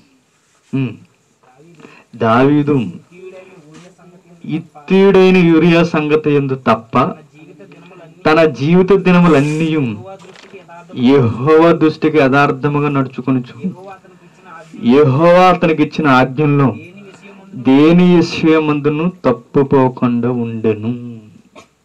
ఇక అర్థమైందా? సులోమును ఉన్నాడంటే. సులోమును ఎక్కువ మంది భార్యం చేసుకున్నాడు. దావీదు ఇద్దరు ముగ్గురు చేసుకున్నాడు. రహబాము ఎక్కువ మంది పెళ్ళి చేసుకున్నాడు. పద్దెనిమిది. దావీదు ఎక్కువ మంది పెళ్ళి చేసుకున్నాడు. కానీ దావీదుకున్నది వీళ్ళకి లేనిదేంటో చెప్పడా వీరు పెళ్ళిళ్ళు చేసి పనికి మాలేసాలేసి దేవుని వదిలి భార్యలు కొంగుగాసారు తప్ప దేవుని భక్తిని మాని దావీది మాత్రం చెడిపోతున్నవాడు పడిపోయి లేచిన తర్వాత కూడా ఎవరిని వదలలేదు చెప్పండి? యెహోవాను వదలలేదు. సొలోమోను దేవుని పట్టుకున్నాడు ముందు. ఎక్కువ మందిని పెళ్ళి చేసుకున్నాడు కానీ పడిపోయాడు. దావీదు పడ్డాడు. పడిన తర్వాత కూడా ఎవరిని వదలలేదు చెప్పండి? దేవుణ్ణి వదలలేదు లేనిది రెహబాముకు లేనిది అబియాకు లేనిది వీళ్ళందరికీ మూలపోసిన దావీదికి ఉన్నది అదే జీవితకాలంలో ఆయన చేసిన తప్పు ఒకే ఒకటి డేట్ అది ఉరియా భార్య ఇక ఏ తప్పు చేయలేదు. వీళ్ళ లిస్ట్ చూడండి ఆయన లిస్ట్ చూడండి. అంటే జీవితకాలంలో ఒక మనిషి ఒకే ఒక్క తప్పు అంటే ఎంత క్యాడర్ ఉన్నాడు చెప్పండి. గొప్పడే కదా. ఒరే భార్యని చేసుకున్నాడు నేను సీపీగా చూడాల్సిన అవసరం ఏమి? లేదు. ఒకే ఒక్క తప్పు ఒకే ఒక్క తప్పు. జీవితంలో ఒకే ఒక్క తప్పు. మనం ఉదయం లేసామంటే చచ్చేంత వరకు తప్పుల మీద తప్పులు తప్పుల మీద తప్పులు. ఆయన ఒకే ఒక్క తప్పు చేశాడట. వీరికి వారికున్న వ్యత్యాసం అదే. అలాంటి భక్తులు ఒక కీర్తన రాశాడు ఎవరు? దావిది గారు. దీన్ని అవగొట్టి కీర్తన గల కిందకి. దావీదు నిమిత్తము. అతని తర్వాత కుమారుని అతని కుమారుని నిలుపుటకును ఎరుసలేమును స్థిరపరచుటకును అతని దేవుడైన యహోవా ఎరుసలేమునందు దావీదునకు దీపముగా అతను ఉండనిచ్చెను. రెహబాము బ్రతికిన దినములు అతనికి యుద్ధము జరుగుచుండును. అభియాము ఇతర కార్యములు గురించి కార్యముల గురించి అతడు చేసిన వాటన్నిటిని గురించి అదే రెండో దినవృత్తాంతల గ్రంథమందు రాయబడి ఉన్నది. అభియామునకును యోబామునకు యుద్ధం కలిగి ఉండెను. అభియాము తన పితరులతో కూడా నిద్రించగా వారి దావీదు పురమందు అతన్ని సమాధి చేసిరి. అతని కుమారుడైన ఆశ అతనికి మారుగా రాజేయను. అభియం గొప్పడు? కాదు. సమాధికి వెళ్ళిపోయేంత వరకు చెడు కార్యాలు చేస్తూనే ఉన్నాడు. ఎవరు గొప్పవారయ్యా అసలు రా? అతని పరిపాలన అంతకాలం ఎందుకు ఇచ్చాడంటే దావిదికి ఒక వాగ్దానం చేశాడట. ఆ వాగ్దాన నిమిత్తమే అభియాం పరిపాలన జరిగింది. నిజానికి బ్రతకాల్సిన అర్హత అభియామకి లేదు. మీకు విషయం చెప్తాను ఈ రోజు మనం పుట్టాలంటే ముందు ఎవరు బతికేయాలి? భక్తులు కాకపోయినా మన తాత బతికేయాలి మన ముత్తాత బతకాలి ఆ నాన్న బతకాలి ఆ నాన్న నాన్న బతకాలి. వీళ్ళందరూ బతుకుతున్న ఇప్పుడు ఎవరు వస్తారు చెప్పండి? ఎవరు వస్తారు? ఈ కాలంలో మనం వస్తాం. ఆ రోజే వాళ్ళ భక్తులు కదని ఆ కాలం లేకుండా ఆయన చంపేశాడు అనుకోండి ఈ రోజు ఈ తరగతిలో మనం ఉంటాం చెప్పండి? ఉండం. అంటే వీడి పరిపాలన కూడా ఎందుకు ఉండించాడంటే ఆ దీపం నిలవాలంటే వీడు కొంతకాలం పరిపాలించాలి. మన తాతలు కొంతకాలం బ్రతికారంటే దానికి గల కారణం ఏంటో చెప్పిన? మనం రావడం కోసం ఆ రోజు వాళ్ళు బ్రతికారు. అలానే వాళ్ళని అంతగా ఉపయోగించుకోవడం అనుకోకండి. వారికి మార్గం ఉంది. వారి మార్గం ఎరుగకపోయేది మన మార్గం ఎరుగుతుంది. వాళ్ళకి మనకున్న డిఫరెన్స్ అదే. మనం వచ్చేంత వరకు వాళ్ళు బ్రతకాలి. మనం వచ్చేంత వరకు అభియాం కూడా పరిపాలన జరుగుతున్నప్పుడు ఏం జరిగింది తెలుసా? అభియాం పరిపాలన ఎందుకు జరిగిందంటే దీపం అనేది దేవుని వాగ్దానం అనేది యేసుక్రీస్తు రావాలి అంటే ఈ పరిపాలన కూడా కొంతకాలం అవసరం. మీకు బాగా అర్థం కావాలంటే ఇదంతా చీలుగు కాక మునిపే ఇదంతా విడిపోక మునిపే ఏం జరుగుద్దో ముందే సొలోమోన్ గారు చెప్పారు. చదివారు కదా? ముందు ఒకసారి ఒకసారి మళ్ళీ చదువుదాం. పదకొండో అధ్యాయం. పదకొండవ అధ్యాయం. పదకొండు అధ్యాయం తొమ్మిది వచ్చిన నుండి. ఇస్రాయేలు దేవుడైన యహోవా సులోమునికి రెండు మార్లు ప్రత్యక్షమై.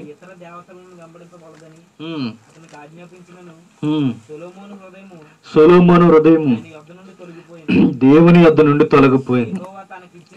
యహోవ తనకిచ్చిన ఆజ్ఞను అతడు గైకొనకపోగా యహో సొలోమోను మీద కోపగించి సెలవిచ్చినది ఏమనగా నేను నీతో చేసిన నిబంధనను నా కట్టడలను నీవు అనుస ఆచరింపకపోవుట నేను కనుగొనుచున్నాను గనుక ఈ రాజ్యం నీకు ఉండకుండా నిశ్చయముగా తీసివేసి నీ దాసుని కనగా యారాబాముకి ఇచ్చేదను. అప్పటికి ఉన్నాడు?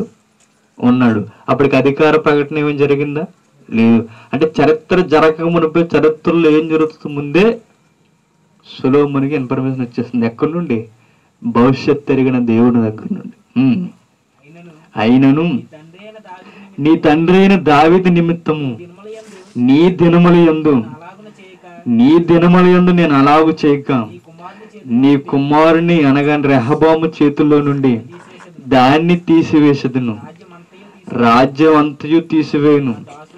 నా దాసుడినైన దావిది నిమిత్తమును నేను కోరుకున్న ఎరుసలేం నిమిత్తము కుమారుని ఒక గోత్రము నీ కుమారునికి ఇచ్చేదను. ఆ ఒక్క గోత్రమే యూదా గోత్రము. అంటే చరిత్ర జరగక ముందే దేవుడు చెప్పేస్తాడు. అలాంటి చరిత్ర కలిగిన మహాజ్ఞానపు సంగతులు కలిగిన దావీదు గారు ఈ నడుములో ఒక మంచి కీర్తన రాశాడు. ఆ కీర్తన చూసుకుని ముగించి రెండో సమయంలో గ్రంథం. రెండో సమయ గ్రంథం ఇరవై మూడు అధ్యాయం.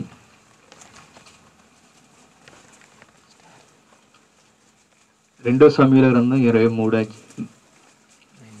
మొదటి వచ్చింది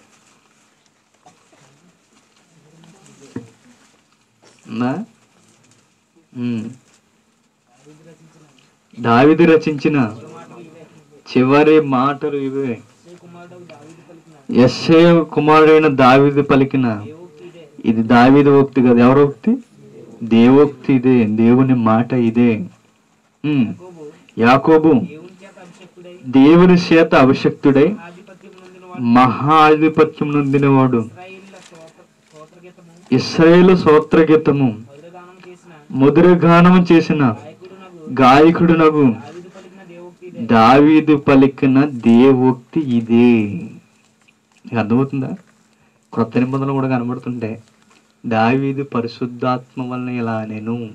ఎవరంటారు సాక్షాత్తు? ఆ? అంటారు చదవలేదే? చదవట్లేదు కదా సుమరతులు మీరు చదవట్లేదని స్టడీ చెట్టాం ఇప్పుడేం చదవండి. ఇదిగో దావీదు ఆత్మ వలన ఇలా పలికిన కదా. దావీదు పరిశుద్ధాత్మ పవిత్ర ఆత్మ వలన ఇలా మాట్లాడిన కదా అంటారు యేసుక్రీస్తు వారు అంటే బైబిల్లో ఏ భక్తుడు పలికిన మాట అయినా అది ఎవరి మాట చెప్పండి? దేవుని దేవోక్తి. దేవుని ప్రేరణ వల్ల మాట్లాడారు అనమాట ఆయన ప్రేరణలో ఒక కీర్తన వచ్చింది అది చివరి కీర్తన. మరి కీర్తన గ్రంథంలో కీర్తనలు దీని తర్వాత ఉన్నాయి కదా అని అర్థమవుతుంది వేరియస్ను ఆ కీర్తనలు ఈ కీర్తనలు సమకాలిక కీర్తనలు కానీ పుస్తకాలు ఎట్టడంలో ఏమైంది? తేడా వచ్చింది. కీర్తన గ్రంథంలో దావిద కీర్తనలు ఉండవు. మోసే గారి ప్రార్థన కూడా ఉంటుంది. యాజకుల ప్రార్థనలు ఉంటాయి. యాజకుల పాటలు ఉంటాయి. గాయకుల పాటలు ఉంటాయి. చదివారా? కొరహ కుమారుల గేయాలు ఉంటాయి వాటన్నిటి గీతాలు కనుక గీతాలన్నింటిని అనుసంధానం చేసి ఒక గ్రంథం చేశారు. ఆ గ్రంథానికి పెట్టిన పేరు కీర్తన గ్రంథం. ఆ కీర్తన గ్రంథంలో ఒక- ఆ కీర్తనలో ఒక కీర్తన చివరి కీర్తన దావిది రాసిన కీర్తన ఎక్కడ లిఖింపబడింది? రెండో సమయాల గ్రంథం. అంటే ఇవన్నీ సమకాలిక కీర్తన. ఒక్కొక్క కీర్తనకు ఒక్కొక్క సందర్భం ఉంటుంది. కాకపోతే కీర్తనలన్నీ ఒక దిక్కు నెడితే బాగుంటుందని ఈ తెలివైన వారు అంతా ఏం చేశారు? ఒక గ్రంథాన్ని చేశారు. అందుతుంది కదా? నాకు ఎందుకు డౌట్గా ఉంది కిందకి. యహో ఆత్మ నా ద్వారా పలుకుచున్నాడు. ఆయన వాక్కు నా నోట ఉన్నది. ఇస్రాయేల్ దేవుడు సెలవిస్తున్నాడు ఇస్రాయేలు దేవుడు ఆశ్రయ దుర్గమగవాడు నా ద్వారా మాట్లాడుచున్నాడు. ఇప్పుడు ఒక విషయం గుర్తుపెట్టుకోండి.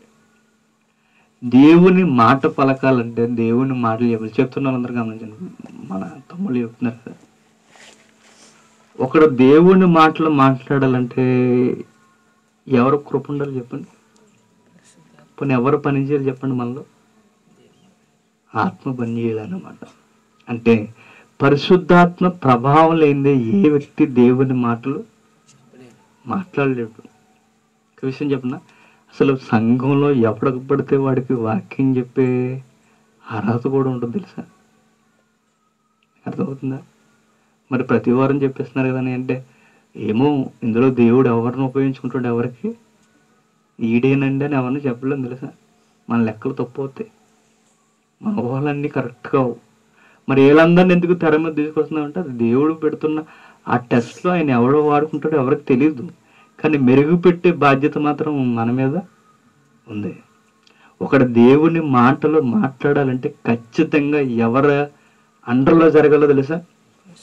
పరిశుద్ధాత్మ ప్రభావం లేని ఎవ్వడూ దేవుని మాటలు చెప్పలేడండి. అది ఖచ్చితం. ఏదనుకోండి మైక్ మైక్ పట్టుకున్నారు అనుకోండి ఏం మాట్లాడతారు వారికి? తెలీదు. ఆయన ఉన్నాడు అనుకోండి కరెక్ట్గా దేవుని ఉద్దేశాలు సమాజంలోకి అందిస్తుంటాడు. నిలబడినోడికి మనకు అదే ఐడెంటిఫై ఏంటో చెప్పిన దేవుని మనసు కరెక్ట్గా మన మనసులో కలుస్తుంది అనుకోండి వీడి మీద ఆత్మ ప్రభావం ఉందని ఖచ్చితంగా మనకు అర్థమవుతుంటుంది. టైం అవుతున్న వదులుతలేదేటి అనుకున్నాం అనుకోండి. అది వాడుకు యుక్తితో మాట్లాడుతుంది తప్ప ఆత్మ ప్రభావం ఏమి లేదు. దావీదు చెప్తున్నాడు. ఒకడు దేవుని కోసం మాట్లాడినా దేవుని పని చేయాలన్నా ఆత్మ మాట్లాడిస్తుంది దేవుడే మాట్లాడుతున్నాడు తప్ప నేనేమి మాట్లాడలేదు. మీకు విషయం చెప్తాను. మోసే గారు ఎంతమందిని నడిపిస్తాడు? సుమారు ఆరు లక్షల మందిని. ఆరు లక్షల మందిని నడిపిస్తున్నప్పుడు ఆరు లక్షల మందికి న్యాయాధిపతి ఎవరు? మోసే గారు. ఆరు లక్షల మందికి నలుగురు కూర్చున్నారు అనుకోండి ఓ నలుగురు ఒక రూమ్లో ఉన్నారు అనుకోండి బ్యాచిలర్స్ రూమ్ తీసుకుని చదువుతుంటారు చూడండి. ఈ నలుగురు నాలుగేళ్ళు ఉన్నప్పుడు బాగానే ఉంటుంది ఫ్రెండ్షిప్. ఈ నలుగురు కలిసి ఒక రూమ్లో నెల ఉన్నారు అనుకోండి గమనించండి సార్ ఎలా ఉంటుందో చెప్పండి. గొడవలు గొడవలు అయిపోతాయండి అలా ఇలా రకరకాల మాటలు అనేసుకుంటారు. ఇటు ఈడేనా ఇంత క్లోజ్ ఉండేవాడు ఎలా నేర్చుకుంటారు అనుకుంటున్నాను నలుగురు కలిసి ఉన్నారనుకోండి అక్కడ తెలుస్తుంది కరెక్ట్ ఆడు ఆడు వైరస్ ఎలా ఉందో బయటకు వస్తుంది.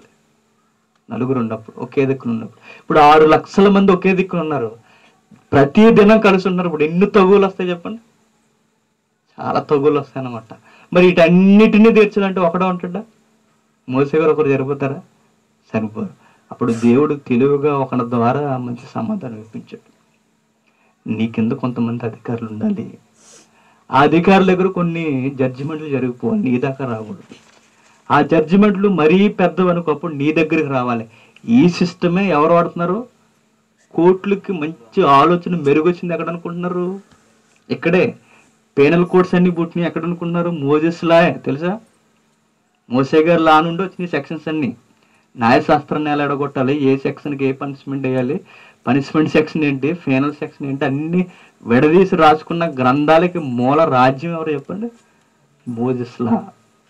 మోసే గారి గ్రంథం మోసే గారి చట్టం దేవుడు పలికించిన చట్టం. అందులో ఆయన ఎంచుకున్న విధానం న్యాయని న్యాయాన్ని ఎలా ఎడగొట్టాలి జిల్లా కోర్టులో న్యాయం జరగకపోతే ఎక్కడికి వెళ్ళాలి? హైకోర్టుకి వెళ్ళాలి హైకోర్టులో జరగకపోతే సుప్రీంకోర్టుకి వెళ్ళాలి ఇప్పుడు ఈ కోర్టులో ఇప్పుడు సుప్రీం ఎవరు మనకు అక్కడ ఇస్రాయేల్లో. మోసే గారు. కింద కొద్దిమంది ఉండాలి. మరి ఈ కోర్టుల్లో పనిచేస్తున్నవారు కూడా లేదా ఈ న్యాయశాస్త్రంలో పనిచేస్తున్న వాళ్ళు కూడా ఎలా పడితే వాడు ఆడు జడ్జి అవడానికి వీల్లేదు. మరి ఎవడు జడ్జి అవ్వాలి? కరెక్ట్గా ఇవే ఓట్స్ ఇవే మాటలు దావీది ఏ మాటలు అయితే బలుగుతున్నాడో ఆ రోజు జడ్జిలుగా నిలబడినారు కూడా అవే ప్రభావం కలిగిన మాటలు. మోసే ద్వారా దేవుడు మాట్లాడుతుంటాడు చూడండి. నిర్గమాకాండం. గుర్తుపెట్టుకోండి ఎప్పుడు వాక్యం చెప్పండి మనకు మనసులో ఉండాలి. నిర్గమాకాండం. పద్దెనిమిది అధ్యాయం. నిర్గమకాండం పద్దెనిమిది అధ్యాయం.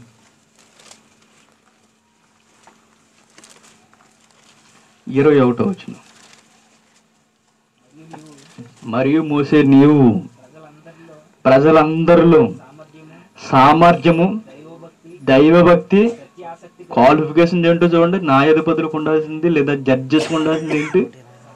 సామర్థ్యము దైవభక్తి సత్యాసక్తి కలిగి లంచగొండులు కాని మనుషులను ఏర్పరచుకొని వెయ్యి మందికి ఒకని గాను నూరు మందికి ఒకని గాను యాభై మందికి ఒకని గాను పది మందికి ఒకని గాను వారి మీద న్యాయాధిపతులను నియమింపవలను. దేవుని తరపున దేవుని ప్రజల మీద ఒకడు పలుకులు పలుకుతున్నాడంటే వాడికి ఉండే క్వాలిఫికేషన్ ఏముండాలంటే చెప్పండి. సత్యాన్ని కూర్చిన ఆసక్తి ఉండాలి దానికి ముందు దైవభక్తి ఉండాలి. మంచి సామర్థ్యం అంటే వాడు మంచి నిష్ణాత కలిగిన వాడే ఉండాలి. అట్టి వాడిని సంఘం మధ్య నిలబెట్టాలి. వీడు దేవునికి ఉపయోగపడతాడు. అంటే ఎవరు పడితే వారు సంఘంలో వైఖరించడానికి అసలు మనం పెడుతున్న క్యారెక్టర్స్ ఇవి. దేవుడే అంటున్నాడు భక్తి ఉండాలి సామర్థ్యం ఉండాలి సత్యాన్ని వచ్చిన ఆసక్తి ఉండాలి. క్రొత్త నిబంధనకు వచ్చేసరికి సత్యంను కూర్చుని అనుభవ జ్ఞానం కలిగిన వారే ఉండాలి. మీకు ఇంకో విషయం చెప్పండి అసలు వాక్యం చెప్పడానికి కాదు. క్రొత్త నిబంధనకు వచ్చేసరికి భోజనాలు వడ్డించడానికి క్వాలిఫికేషన్ ఏం అడిగారు తెలుసు అపోస్తులు? చూస్తారు ఒకసారి చూడండి. ఆరాధ్యాయం అపోస్తుల కార్యాలు ఆరాధ్యాయం మొదట వచ్చిండి ఆ దినములలో శిష్యుల సంఖ్య విస్తరించున్నప్పుడు అనుదిన పరిచర్యలు తమలోని ఎదవరాండ్లను చిన్న చూపు చూసిరని ఎబ్రిల మీద గ్రీకు భాష మాట్లాడే యూదులు సనుగసాగరి గూడబత్తి వారికి ఆటలపాని వారికి ఏమొచ్చింది? గొడవ వచ్చింది అనమాట చిన్న చూపులు. అప్పుడు పన్నెండు అపోస్తులు తమ యొద్దకు శిష్యుల సమూహమును పిలిచి మేము దేవుని వాక్యం బోధించటం మాని ఆహారం పంచిపెట్టుట యుక్తము కాదు. కాబట్టి సహోదరులరా ఆత్మతోనూ ఆత్మతోను జ్ఞానముతోను నిండుకొని మంచి పేరు పొందిన ఏడుగురు మనుషులను ఏర్పరచుకుని మీలో ఏర్పరచుకునండి. మేము వారిని పనికి నియమితము. చూసారా వాక్యం చెబుతున్న అపోస్తులట భోజనం కన్నా ఏది గొప్పది అంటున్నారు వాక్యం చెప్పడమే గొప్పది. పెళ్ళిళ్ళలో మెసేజ్ చెప్తున్నాం అనుకోండి. మధ్యలో అర్జెంటుగా లెటర్ వచ్చేస్తుంది మనకి. ఏమని? ఒంటి గంట అయిపోయింది. అర్జెంటుగా వాక్యాన్ని కాబట్టి పెళ్ళిళ్ళలో మెసేజ్ చెప్పాలంటే ఇది భయం. అంటే భోజనాలకు ఉన్న ఇంపార్టెంట్ వాక్యానికి లేదు. కానీ అపోస్తులు ఏమన్నారు తెలుసా? భోజన కార్యక్రమం కన్నా వాక్యం చెప్పడం చాలా గొప్పది. అయినా మీకు ఒక విషయం చెప్తాను. సంఘం మీద ఈ పరిచర్య చేస్తున్న వాళ్ళు కూడా అంటే భోజన కార్యక్రమంలో పాల్గొనే వాళ్ళు కూడా ఏ క్వాలిఫికేషన్స్ ఉండాలన్నారు అపోస్తులు? ఆత్మతోనూ చదవండి. జ్ఞానముతోనూ నిండుకొని మంచి పేరు పొందిన ఏడుగురు మనుషులను మీలో మీరే ఏర్పరచుకోండి. మీ మధ్య జరుగుతున్నవాడు మీ మధ్య తిరుగుతున్నవాడు ఎలా ఉంటాడో మీకు తెలుసు గనక ఆ మంచి వ్యక్తి ఎవరో మీరే ఏర్పరచుకోండి. ఆ ఏర్పరచబడిన వ్యక్తికి ఏముండాలి ఆత్మశక్తి ఉండాలి. జ్ఞానం ఉండాలి. ఇటు ఇవన్నీ ఏం చేయడానికి భోజనాలు పెట్టడానికి. శనివారం శనివారం మెసేజ్ చెప్పడానికి కాదు.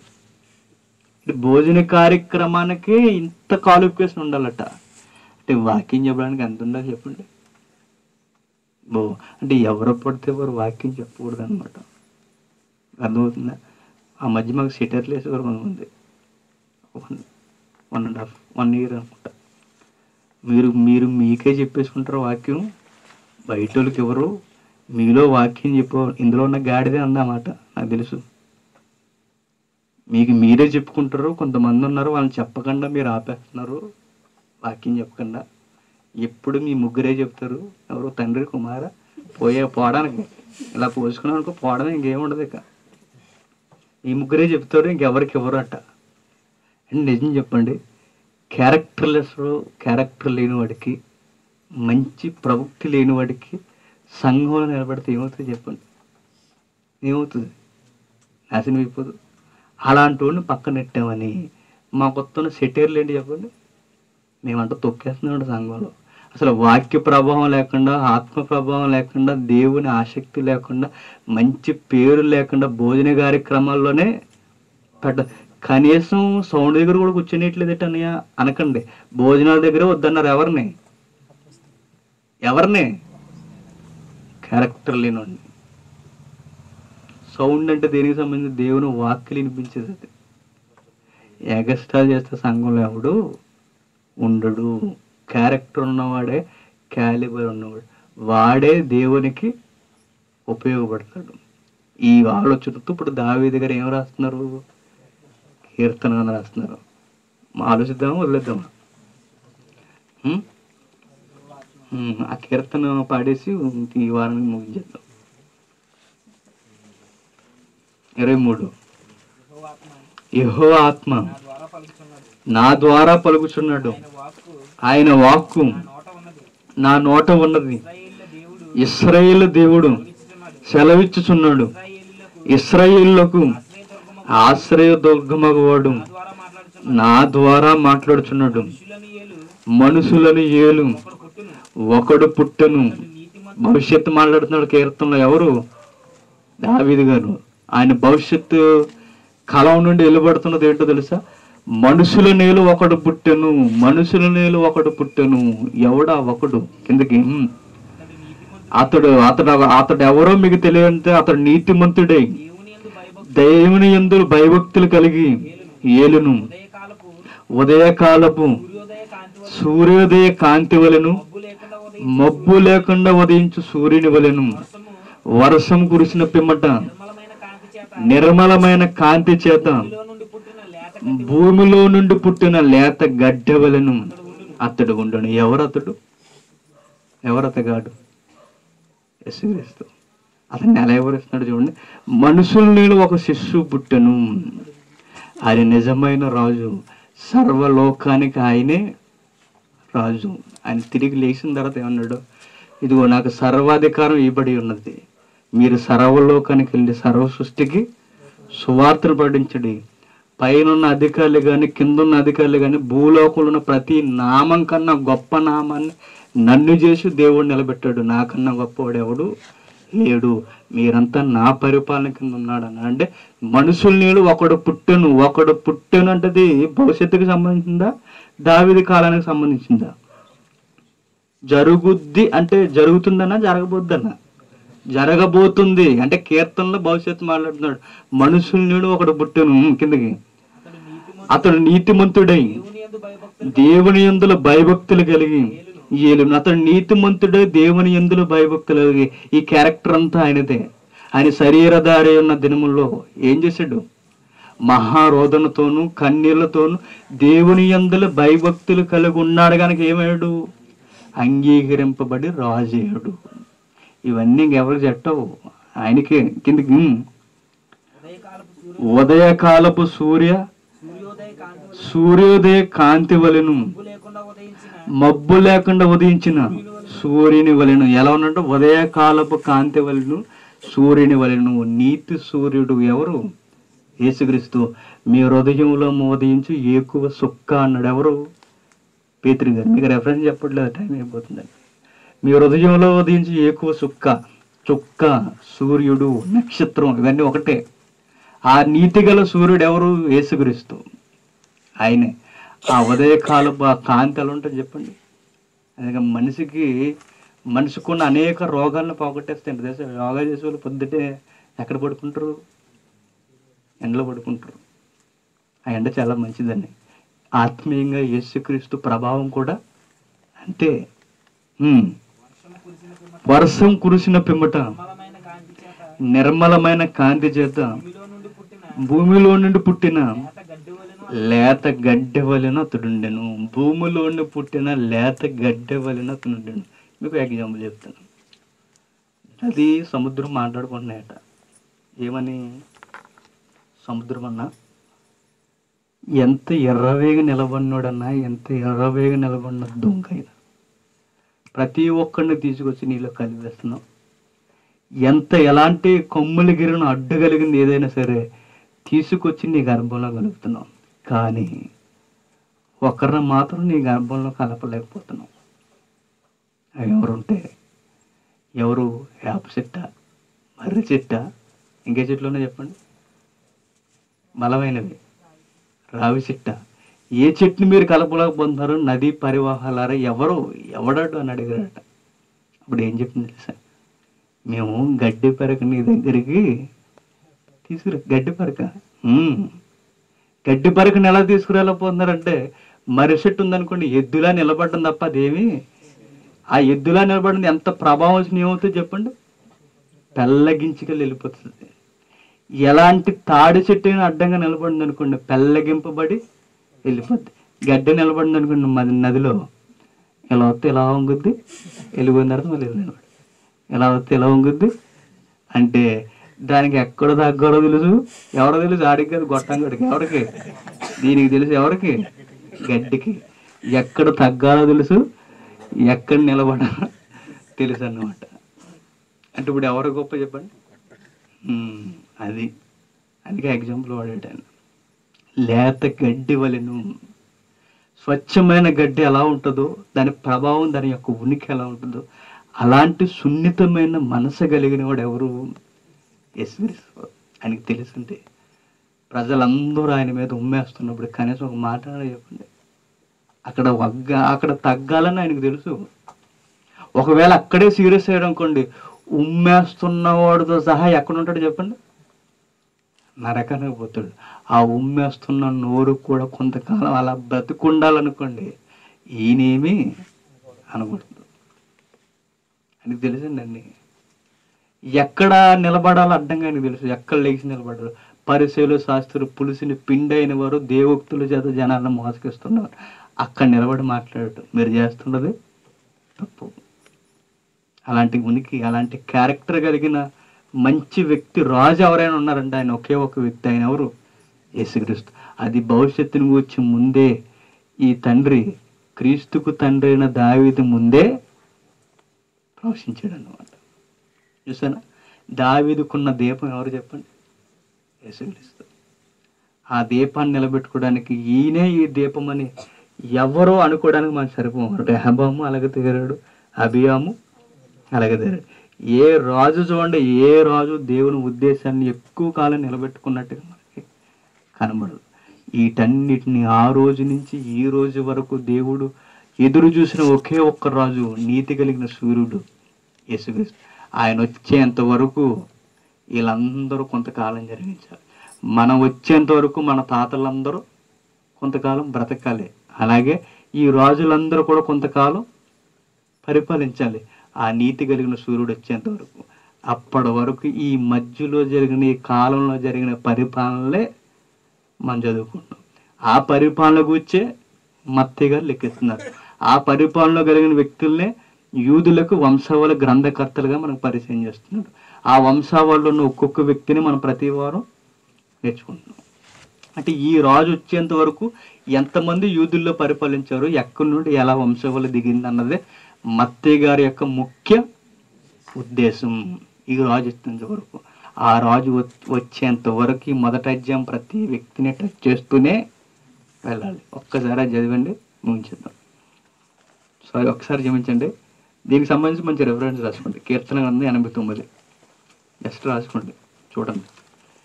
ఎనభై తొమ్మిది ఇరవై ఏడు ఇరవై తొమ్మిది. అదే దావిది కీర్తనకి మళ్ళా దేవుడు ఇస్తున్న ఒక ఆన్సర్ కావున నేను అతన్ని నా జ్యేష్ఠ కుమారునిగా చేదును. అతన్ని అంటే ఎవరిని? ఈ సందర్భంలో దావీదని అంటాడు. చూడండి పైకి వెళ్ళండి ఒకసారి. పదహారు చూడండి. నీ నామను బట్టి.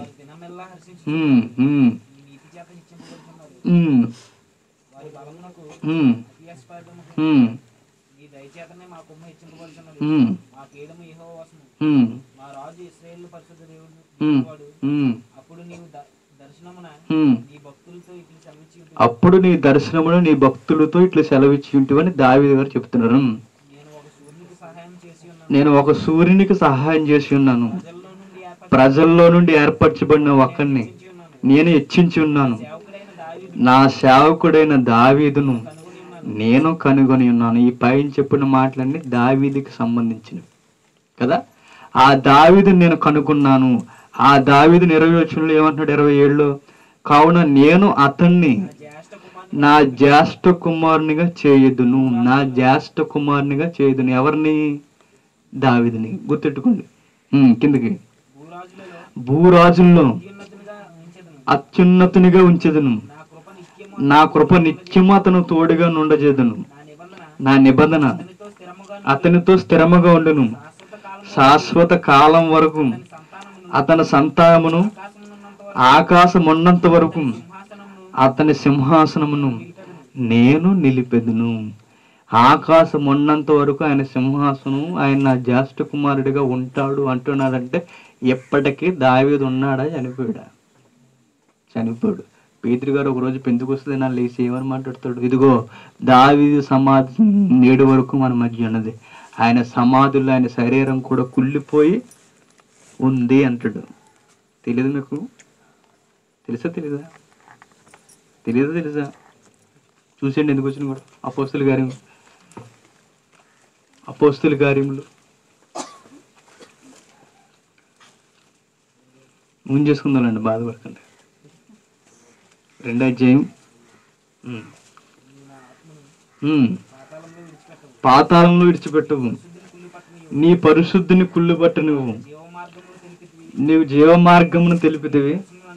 నీ దర్శనం అనుగ్రహించి ఉల్లాసంతో నింపెదవు సహోదరులారా మూల పురుషుడకు దావిదిని గుచ్చి నేను మీతో ధారాళముగా మాట్లాడవచ్చును.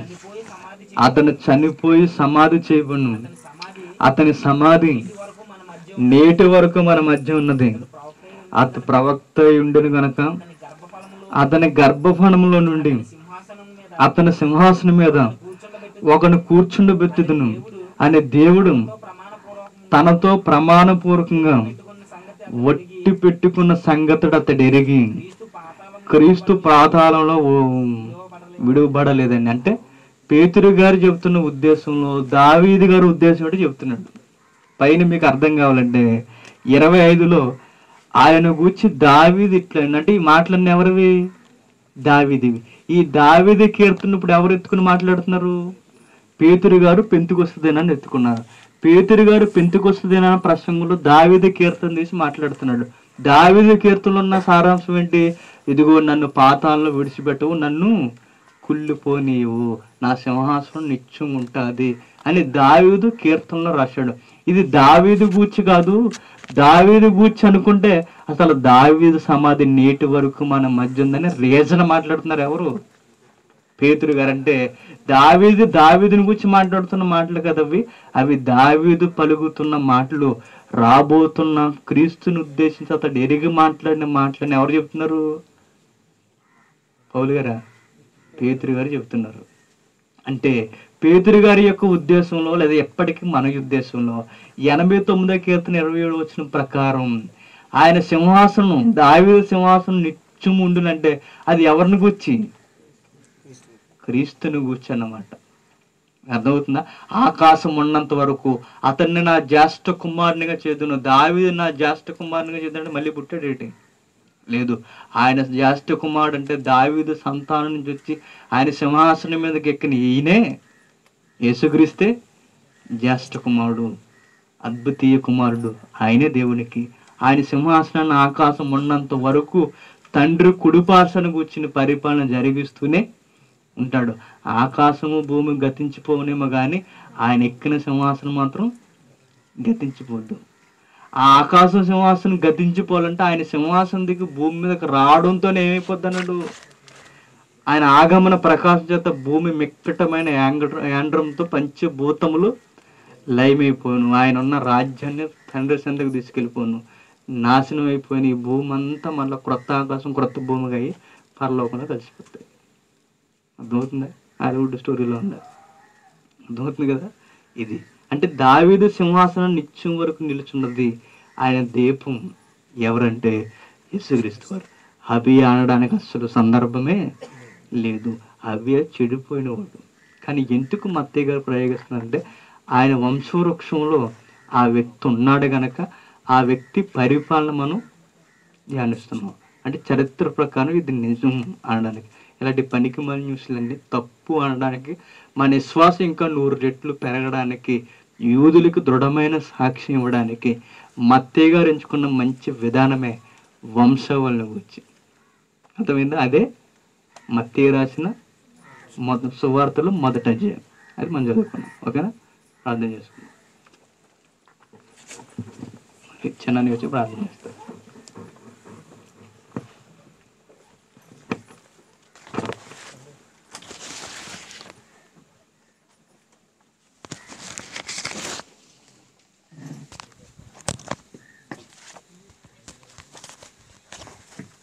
ప్రార్థించేద్దాం దానికంటే ముందు ప్రార్థన చేద్దాం